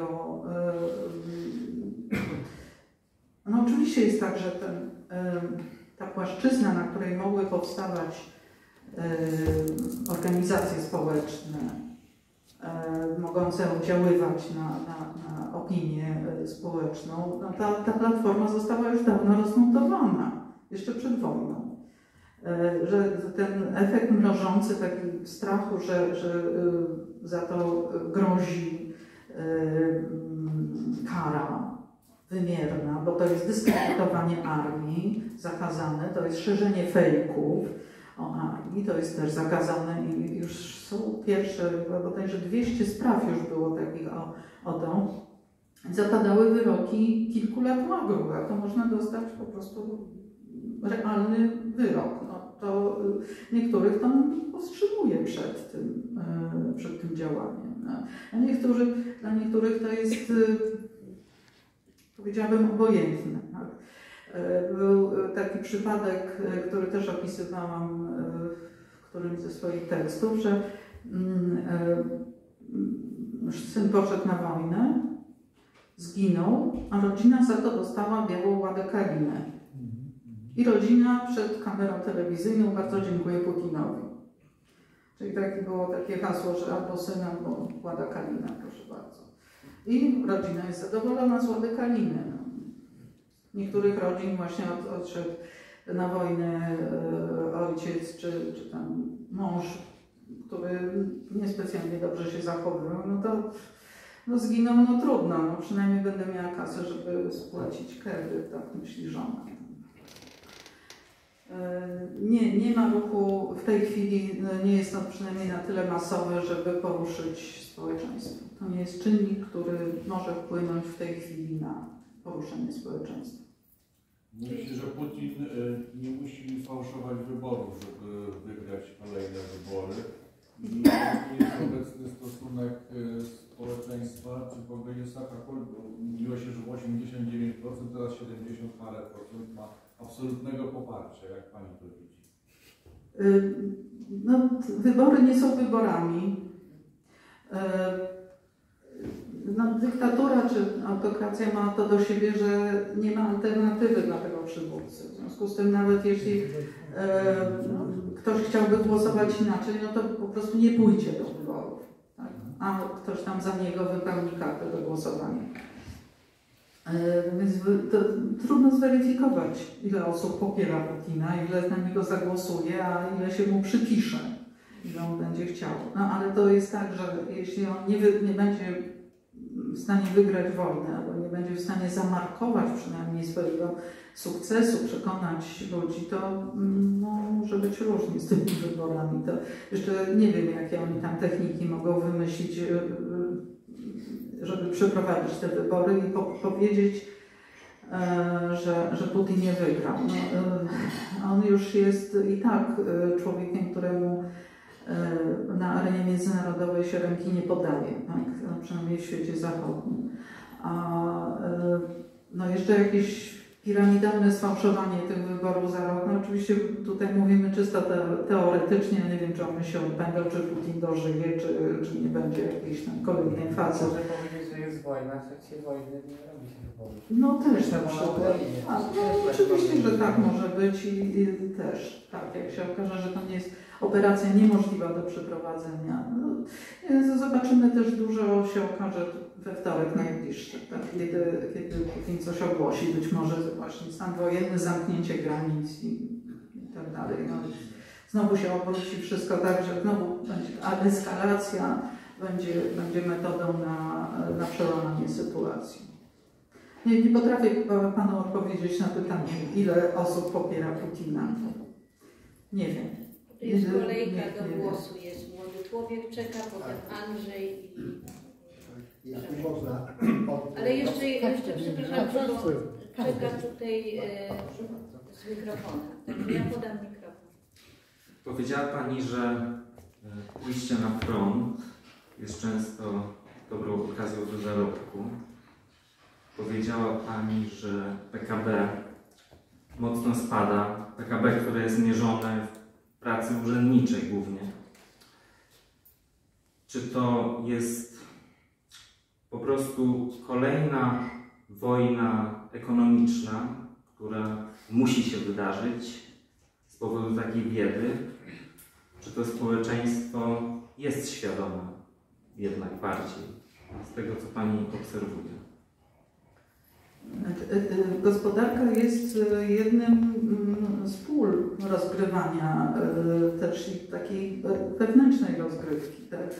E, Do tej pory e, ta umowa społeczna nie, nie spisana, nie, nie, podpisana przez Putina i społeczeństwo polegała na tym, że Putin mówił, wy się nie zajmujecie polityką, a ja wam daję życie.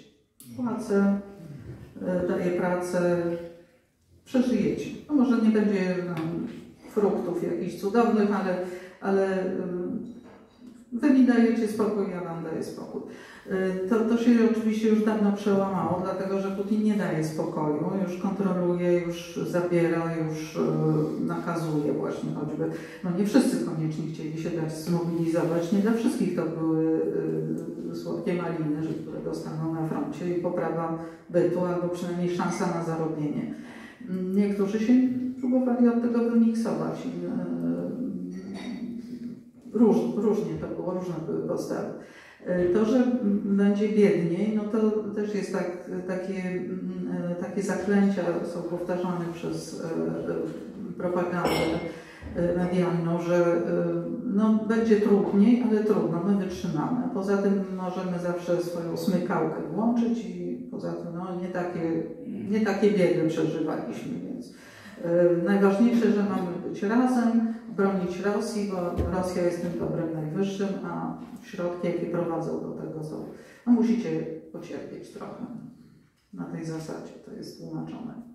Y, Na ile to zostanie będzie dalej skuteczne? No, przez ten rok było skuteczne.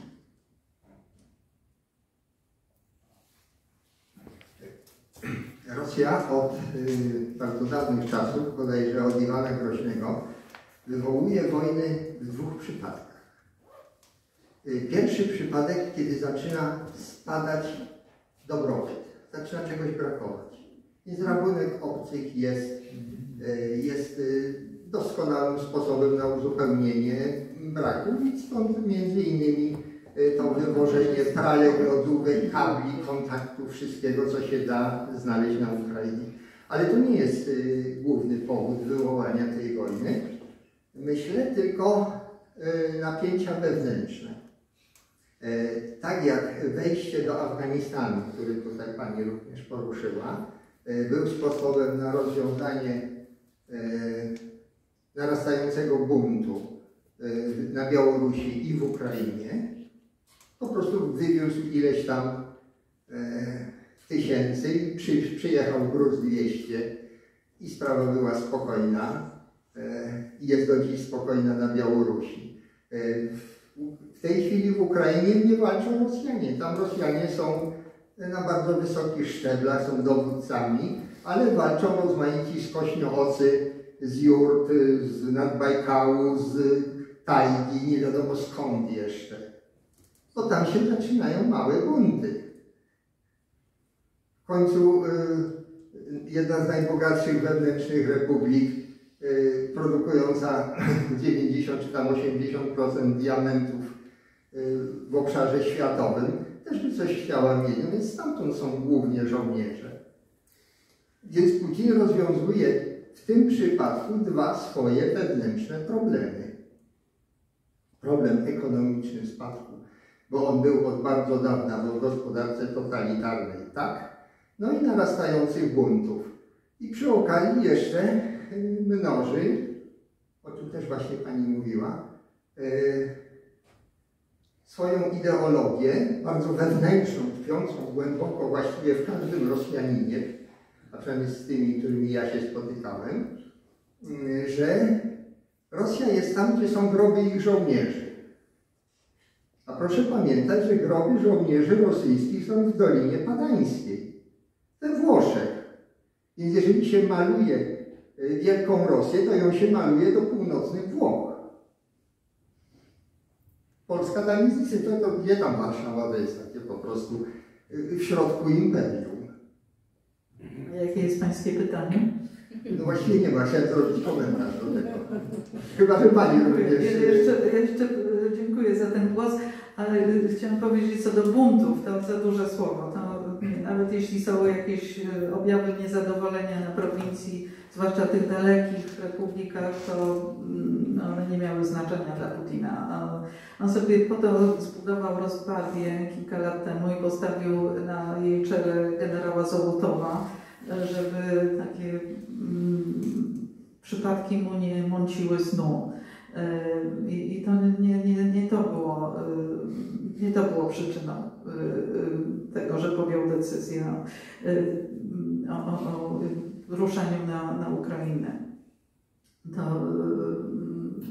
co do jeszcze tego, czy to ma znaczenie dla, że, że ludzie giną, ci, którzy idą na Ukrainę, tam bardzo dużo Rosjan też, też walczy. E, Są choćby bataliony ochotnicze. Dzisiaj napisałam taki tekst o batalionach ochotniczych składających się z kibiców z Moskwy i Petersburga, jak najbardziej rdzeni Rosjanie. E, A, a co do tych dalekich prowincji, no to taka mm, Republika Sacha, o której Pan mówił, tak, czyli Jakucja, e, wydobywająca diamenty, no to, mm, to jest taka przestrzeń, gdzie nawet jeśli jakiś bunt powstanie, to nie ma szans, żeby się przenieść na inne mm, części, aż zwłaszcza dojść do stolicy. E, Z Jakucji wyruszył swego czasu szaman Aleksandr Gabyszew, który powiedział, że na piechotę dojdzie do Moskwy, stanie pod murami Kremla i wygoni stamtąd demona, który, e, który tam e, siedzi. No tutaj też wyszła taka historia, że tego szamana dwukrotnie zatrzymano, raz go zatrzymano, zawrócono do Jakucka, po czym on ponownie wy, wyruszył na Moskwę. E, Potem go już za, zatrzymano skutecznie i e, osadzono w psychuszce, żeby, żeby mu się trzeci raz do głowy nie przyszło. A, e, a tutaj wyszła też taka część duszy Putina, o którą Pan pytał, czyli takie zabobony, e, myślenie, że można właśnie jakoś jakieś zaklęcia rzucić i że one mają znaczenie. E, Ja chciałbym spytać o w zasadzie rzeczy związane w tej chwili z e, jakąś perspektywą kultury rosyjskiej, języka. E, Mianowicie w takich trzech aspektach czy pytaniach, co Pani na ten temat sądzi, czy jak, jaką ma opinię. Mianowicie białoruska noblistka, de facto z pochodzenia Rosjanka, w jednym z wywiadów ja odniosłem wrażenie, że ona w ogóle zwątpiła w tej chwili w sens pisania po rosyjsku, że to dotrze do jakichkolwiek sensownych, kulturalnych odbiorców. To jest y, jakby pierwsze pytanie, na ile to może być prawdą, na ile y, powiedzmy rosyjska emigracja teraz, y, spotkałem się z opinią również taką przez jednego z dziennikarzy wyrażoną, że oni starają się nie tworzyć jakieś silne związki emigracyjne, tylko jak najbardziej odciąć się od swojego kraju, najlepiej, żeby Rosja o nich zapomniała, co jest może zrozumiałe w tym momencie. E, Druga sprawa to jest e, no właśnie jak głęboka czy jak płytka była ta kultura rosyjska, którą tam e, w zasadzie począwszy chyba od caratu, potem przez komunistów i potem, że tak powiem, już również w tych 30 latach po upadku Związku Radzieckiego pompowano, żeby to był taki obraz superkultury na Zachodzie. Na ile to jakby było głębokie w samym narodzie, bo Putin chyba był jedynym przywódcą, który używał w swoich oficjalnych przemówieniach slangu więziennego. I jedno z tłumaczeń było takie, że tak ogromna ilość ludzi w Rosji przeszła przez systemy więzienne i karne, że dla nich jakby ten język czy ten typ humoru tak y, używany, że, że, że to jest też dochwytało po prostu. No co gdzie indziej, gdyby ktoś używał na przykład slangu więziennego y, w powiedzmy bardziej mm, takich krajach nam bliższych, no to by było no może jako super dowcip odebrane, ale ciągle powtarzane byłoby raczej y, negatywnie wpływało na jego popularność. No i trzecia sprawa, y, mniej więcej moim zdaniem od 2014 roku Ukraińcy starają się usilnie w ramach odzyskiwania własnej historii i korzeni również wypowiadają się na temat y, samej Rosji, ich kultury i ich języka.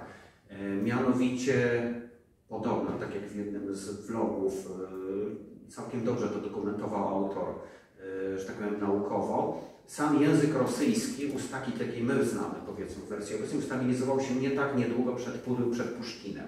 Natomiast wcześniej to była jakaś taka mieszanka pod, bardziej mongolsko-azjatycka niż mająca wspólnego z językami słowiańskimi. I podobno Rosjanie mają masę dokumentów w swoich archiwach gospodarczych, jakichś tam kościelnych czy innych, gdzie ten język jest zupełnie inny niż ten, powiedzmy, do którego my przywykliśmy. Na ile to może być odchylenie, powiedzmy, ukraińskie na to, co się dzieje, yy, że tak powiem, w ich historii teraz i potem w 2014 roku, a na ile to może, czy jest prawdą? No, Trzy pytania są ogromne zagadnienia. E, Co do emigracji rosyjskiej, co do pisarzy i możliwości e, utrzymania się literatury jako wysokiego gatunku. Dmitrij Głuchowski, popularny pisarz również w Polsce, bo jego książki były tłumaczone. E, Metro 2033 i tam kolejne części, no, najbardziej znane. E, No, od razu na, na samym początku wystąpił z ostrą krytyką e, Putina, jego wojny i zajął taką jednoznaczną pozycję antywojenną. No, on jest emigrantem, więc może takie zdanie wyrażać, zresztą jest bardzo aktywny do tej pory. E, Y, Głos y, Władimira Sorokina jeszcze też jest słyszany. On też jest człowiekiem, który absolutnie on właśnie nawet dokonywał takiej analizy, w jaki sposób rosyjska literatura mogła wpłynąć na to, jak że takie postawy społeczne są umożliwiające wojnę i posypywał głowę popiołem. E, A tak poza tym to mm, ludzie przycichli. E, albo wyciągani na siłę no, są jakoś tam mm, próbu- próbują lawirować, Mm, ale nie ma mocnego głosu środowiska literackiego w Rosji.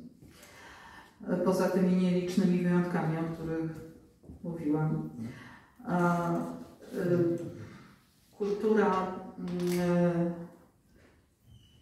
jak, jaki może być dalszy los kultury, tak rosyjskiej. E, Rosyjska kultura czerpała, zwłaszcza od XIX wieku, jednak z wzorców europejskich. I ten związek był decydujący o tym, jak wygląda rosyjska kultura. A teraz właściwie te więzi zostały przerwane. E, Nikita Michałkow, który jest takim koryfeuszem polszutinowskiej kultury, powiedział, że e, no, skoro nas nie chcą, co tam nie wiem, jego ulubionemu festiwalowi moskiewskiemu odebrano e, jarłyk, użyję słowa obcego, e, e, no to no, w takim razie powoła sam Oskar będzie przyznawał, będzie własna, będą mieli własną Akademię Eurazjatycką i proszę bardzo, niech się gonią. Ym, To, że Putin używał Fieni, mm, no tak, no bo to było mm, mm, zresztą tak jak w środowiskach polskich milicjantów czy bezpieczniaków była, była taka poza, żeby używać y, właśnie slangu y, języka kryminalistów. No i Putin też tym nasiąkł, jak był kagiebistą, to tam się mówiło takim językiem i on, go używa. Zresztą czasami właśnie takich te ko- koszarowe dowcipy i tak dalej, no to z tego wynikają, z tej, z tej subkultury, powiedziałem. Jak kształtował się język rosyjski? No to e, wiele, wiele książek na ten temat napisano i e, przed Puszkinem była taka fala na przykład e, fascynacji literaturą polską i w XVIII wieku Rosjanie kopiowali polskie wiersze. Po prostu. Było bardzo wiele zapożyczeń z języka polskiego, więc ten język się rozwijał w różnych kierunkach w różnym momencie. A to, że no, miały wpływ języki azjatyckie, no na pewno tak, ponieważ no, było jarzmo mongolskie, więc choćby z tego względu. E, Także język, e, e, język literacki się dosyć późno ukształtował, to prawda. Jeszcze na coś nie odpowiedziałam, bardzo, bardzo dużo powiedział. Nie, bo jedno takie pytanie, znaczy na ile ta kultura, na ile ta kultura rosyjska wysoka była po prostu, znaczy czy jest powierzchowna y, w narodzie rosyjskim, który tam został w tej chwili w Rosji, y, a na ile ten język służy tylko do spraw, nie wiem, bytowo y, socjalnych, innych, a ta kultura, no to, no to co, to ważniejsze jest to wywożenie, przepraszam, łóżek klozetowych i lodówek na czołgach niż y, tam Puszkin czy, czy inni. tak Pan powiem. pyta o kulturę wysoką, czy o kulturę Nie, o popularną? to jest kultury. w ogóle Wiem, różne rzeczy, ale powiedzmy wpływ kultury, która propaguje jakieś wartości, powiedzmy humanistyczne. Kulturalna też jakoś to może robić. Na, w ogóle obok życia Rosjan, a na ile im to jest po prostu, że tak powiem, obojętne. Że są prości ludzie, którzy tyle walczą o przeżycie i nic więcej, a reszta jest obojętna. No to nie jest tak, że tylko walczowo przeżycie, ale y, powiem tak, że Lenin mówił, y, że kino jest najważniejszą ze sztuk. Tak? No miał głównie na myśli kroniki G. Wierdowa, czyli pokazywanie tego, co się dzieje. Y, Dla niego to było takie najważniejsze. A teraz można by powiedzieć, że telewizja jest najważniejszą ze sztuk. W Rosji to, ma, to jest kraj rządzony przez telewizję. Co się pokaże w telewizji, to obowiązuje.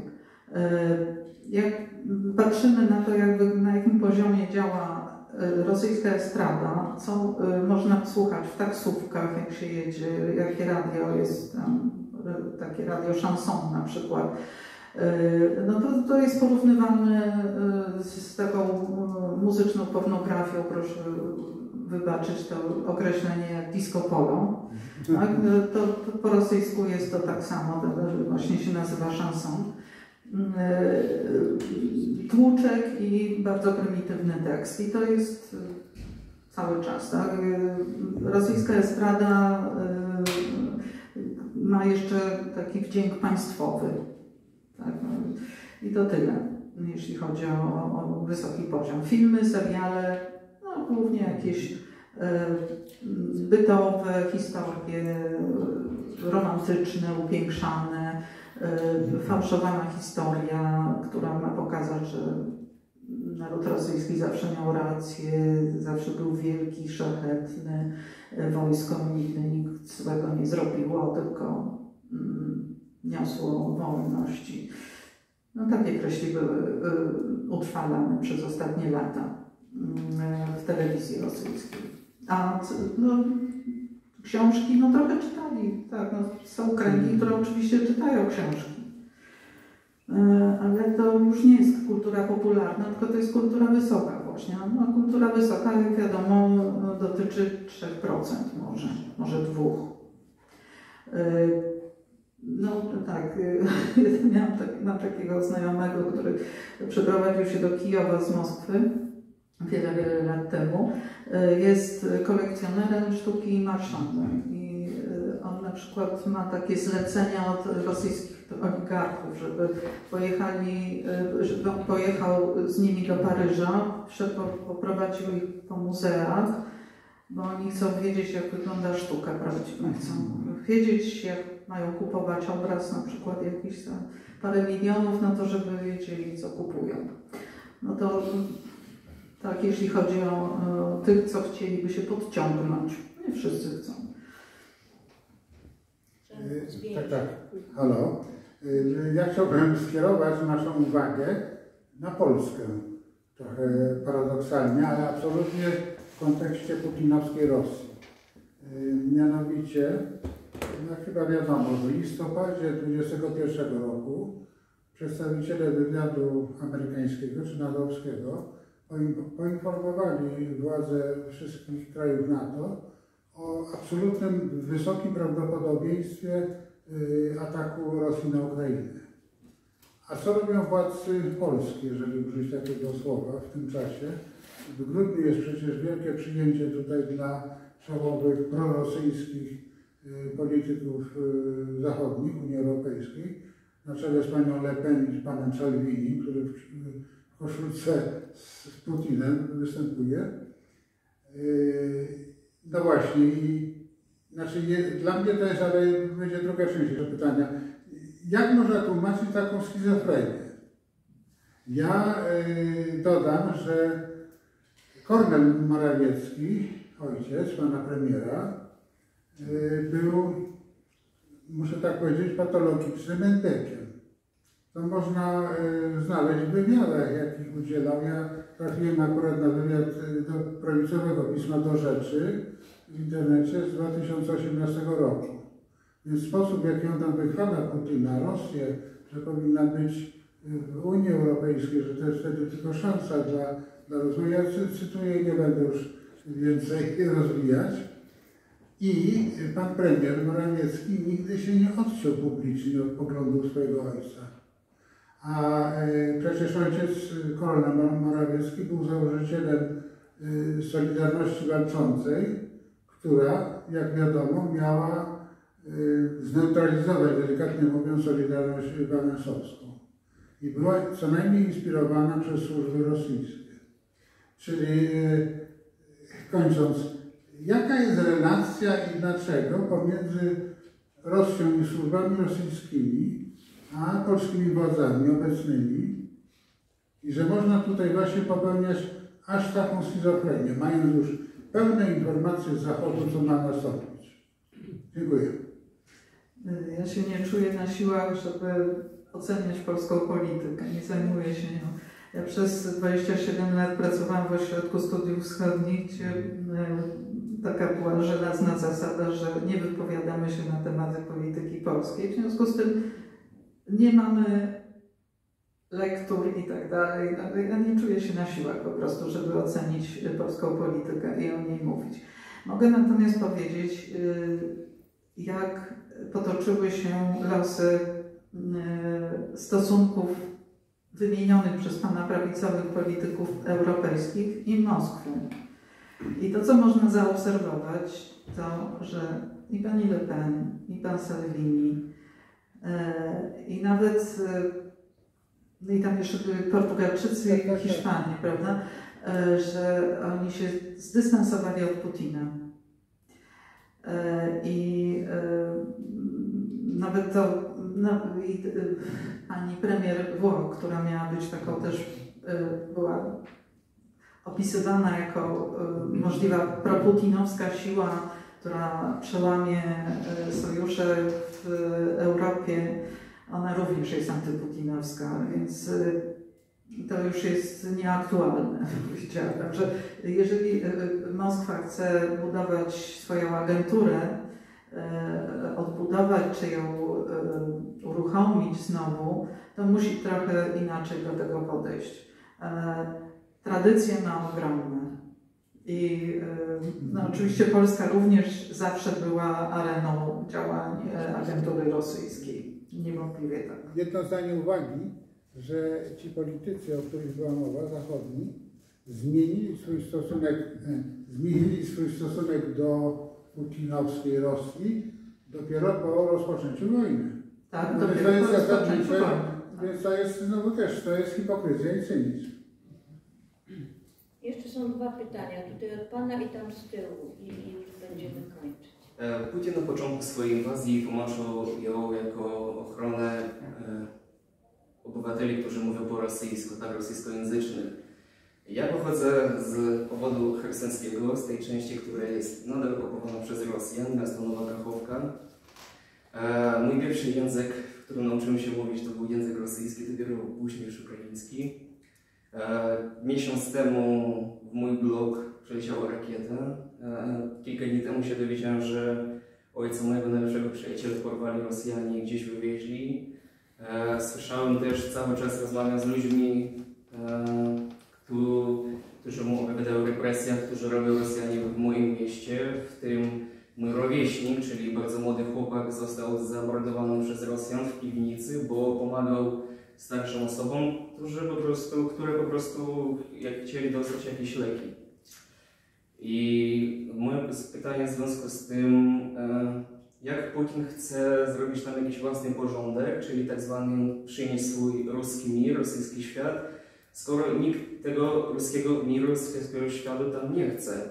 E, Naród się sprzeciwia. Ja codziennie rozmawiam z dziadkami, którzy tam zostali z moim ojcem, który jest w tym blogu, w który trafił pocisk. Na szczęście moja mama i mój brat przyjechali do mnie do Warszawy, więc są bezpieczni. No ale z tego co widzę, no naród jest przeciwny. E, czy to się powtórzy na przykład jak z Czeczenią? Czeczeńcy też nie chcieli tego rosyjskiego świata, no ale Putin ich upokorzył. Postawił Kadyrowa, który wszystkim zarządza. Ale no i teraz te obwody, które są okupowane też są wszystkie rosyjskojęzyczne. Ale naród się sprzeciwia i nie chce tego. Co z tym będzie? No, bardzo bolesne pytanie. E, oczywiście, że to, to hasło, że mam bronić ruskiego miru, że mam bronić naszych rodaków, ludzi, którzy mówią po rosyjsku, którym się tam dzieje krzywda, które Kijów tam właśnie naziści, sataniści, sodomici, nie wiadomo co jeszcze, e, swoją wolę i swoje powykręcone wartości narzucają, no to jest oczywiście mit. To jest oczywiście nieprawda. Ale, to jest mit, który, taka teza, której się Putin jak pijany płotu trzyma. I y, na ile mu pozwolą możliwości, środki, no, żelazem i ogniem będzie tam, tam gdzie mu pozwolą, do- dokąd wejść. No, to, to, to, to będzie te, te, te metody stosował. No, to jest y, bandyta, to jest zbrodniarz wojenny. No. Nie odpowiem Panu inaczej na to pytanie. No niestety nie mam y, pocieszenia, tak, że to będzie y, pokojowo i, i, i zgodnie z duchem, który panuje na danym terytorium. No niestety nie. I ostatnie pytanie prosimy. Dzień dobry. Tak, to przede wszystkim chciałbym e, tutaj podziękować za to, że było nieraz wspomniane o tym, że kultura rosyjska została w pewnym momencie zawładnięta przez e, no, ducha Azji, powiedzmy w skrócie. Bo tutaj było też pytanie od Pani, e, co z tym narodem, co z, tożsamością, co z tym buntem może, co z tym, e, tutaj też były poruszone kwestie z inteligencją, z kulturą, z potrzebą tej kultury. Zapominamy o jednym. Mówimy tu cały czas o Rosjanach, Rosjanach, Rosjanach. Rosjanie może byli do rewolucji październikowej. W tej chwili mamy do czynienia z wykształtną papką przerzutą przez lata radzieckiego tworu. Tak? I niestety pamiętajmy jeszcze o tym, że a, ludzie, którzy byli w tym tworze i teraz są w tym tworze w postaci Federacji Rosyjskiej, która no, przede wszystkim mamy do czynienia, z, jak to nazwać, z Wielkim Księstwem Moskiewskim i dwoma miastami typu Petersburg i Moskwa, które po prostu tworzą de facto całą Rosję, a reszta jest de facto czymś przybocznym. Mm, I tutaj Rosjanie, którzy, mówmy się, Rosjanie, którzy e, zaatakowali ziemię e, ukraińskie. I mamy tutaj wojnę de facto nie od tamtego roku, ale 2014 roku, gdzie, e, a de facto nawet już 2012, gdzie Ukraina odmówiła przedłużenia umowy na stacjonowanie floty czarnomorskiej w Sewastopolu. No to oczywiście był jeden z powodów, które są potem podawane jako jakieś tam usprawiedliwienie tego terroru, który jest e, stworzony przez tą stronę rosyjską. Moje pytanie brzmi tak. Do jakiego momentu Rosja zachowa się tak jak teraz, czyli będzie terrorystą de facto na tym, na tym, e, na tym co cały czas działa, a do jakiego momentu zacznie się dosłownie zachowywać jak małpa z brzytwą, ponieważ zacznie czuć zagrożenie chociażby z Chin, który powoli de facto przyjmuje kontrolę nad przemysłem i ekonomią tego kraju. Dziękuję. No, dziękuję. To trochę za dużo generalizacji jak dla mnie, bo jednak e, owszem, e, straszny czas, straszny walec sowiecki, zwłaszcza w, w czasach stalinizmu oczywiście, że się przetoczył przez kraj, przez ludzi, e, zlikwidował klasy posiadające, zlikwidował inteligencję, wykształcił swoje elity. Oparte to było na przemocy, oparte to było na zbrodni. To, no to ma, ma znaczenie, tak? Gdzieś tam się to ułożyło w tych pokoleniach, które przeżyły. To, że Moskwa i Petersburg są najważniejsze, tak, ale dla kultury rosyjskiej jeszcze jest kilka innych ośrodków. Działały choćby takie teatry jak Nikołaja Kolady, był poza Moskwą, tak, przez długie lata. Nawet jeszcze w Związku Sowieckim takie grupy jak Grasztanska Barona, tak, Igor Lietow i Janka Diegilewa, to też nie, nie Moskwa i nie Petersburg, tak, a to jednak głos bardzo ważny i autonomiczny głos jeszcze właśnie sowieckiej, rosyjskiej kultury. Więc nie, nie generalizowałabym tego. Rosjanie uważają, że mają tożsamość ustaloną, tak? i nie potrzebują jej nie wiem, przebudowywać. No. Tak, mają takie poczucie, że y, zawsze byli i zawsze będą. Y, nie wiem, co jeszcze mogę skomentować z Pana wypowiedzi. Y, y jaką, jaką rolę będą odgrywać, tak? O to Pan pytał. I, I, jak długo utrzymają się w tym y, statusie, jakim w tej chwili są. No, mm, bardzo wiele zależy od tego, kto będzie rządził. Jednak to jest, to jest bardzo, bardzo ważne w kształtowaniu tego e, no, biegu, biegu wydarzeń. I e, to jest jeszcze tak, że Federacja Rosyjska nie jest monolitem etnicznym, że e, istnieją nawet takie republiki, które się nazywają inaczej, tak, rosyjsku. Tatarstan czy Baszkiria, Czeczenia, którą Pan też przywołał. No,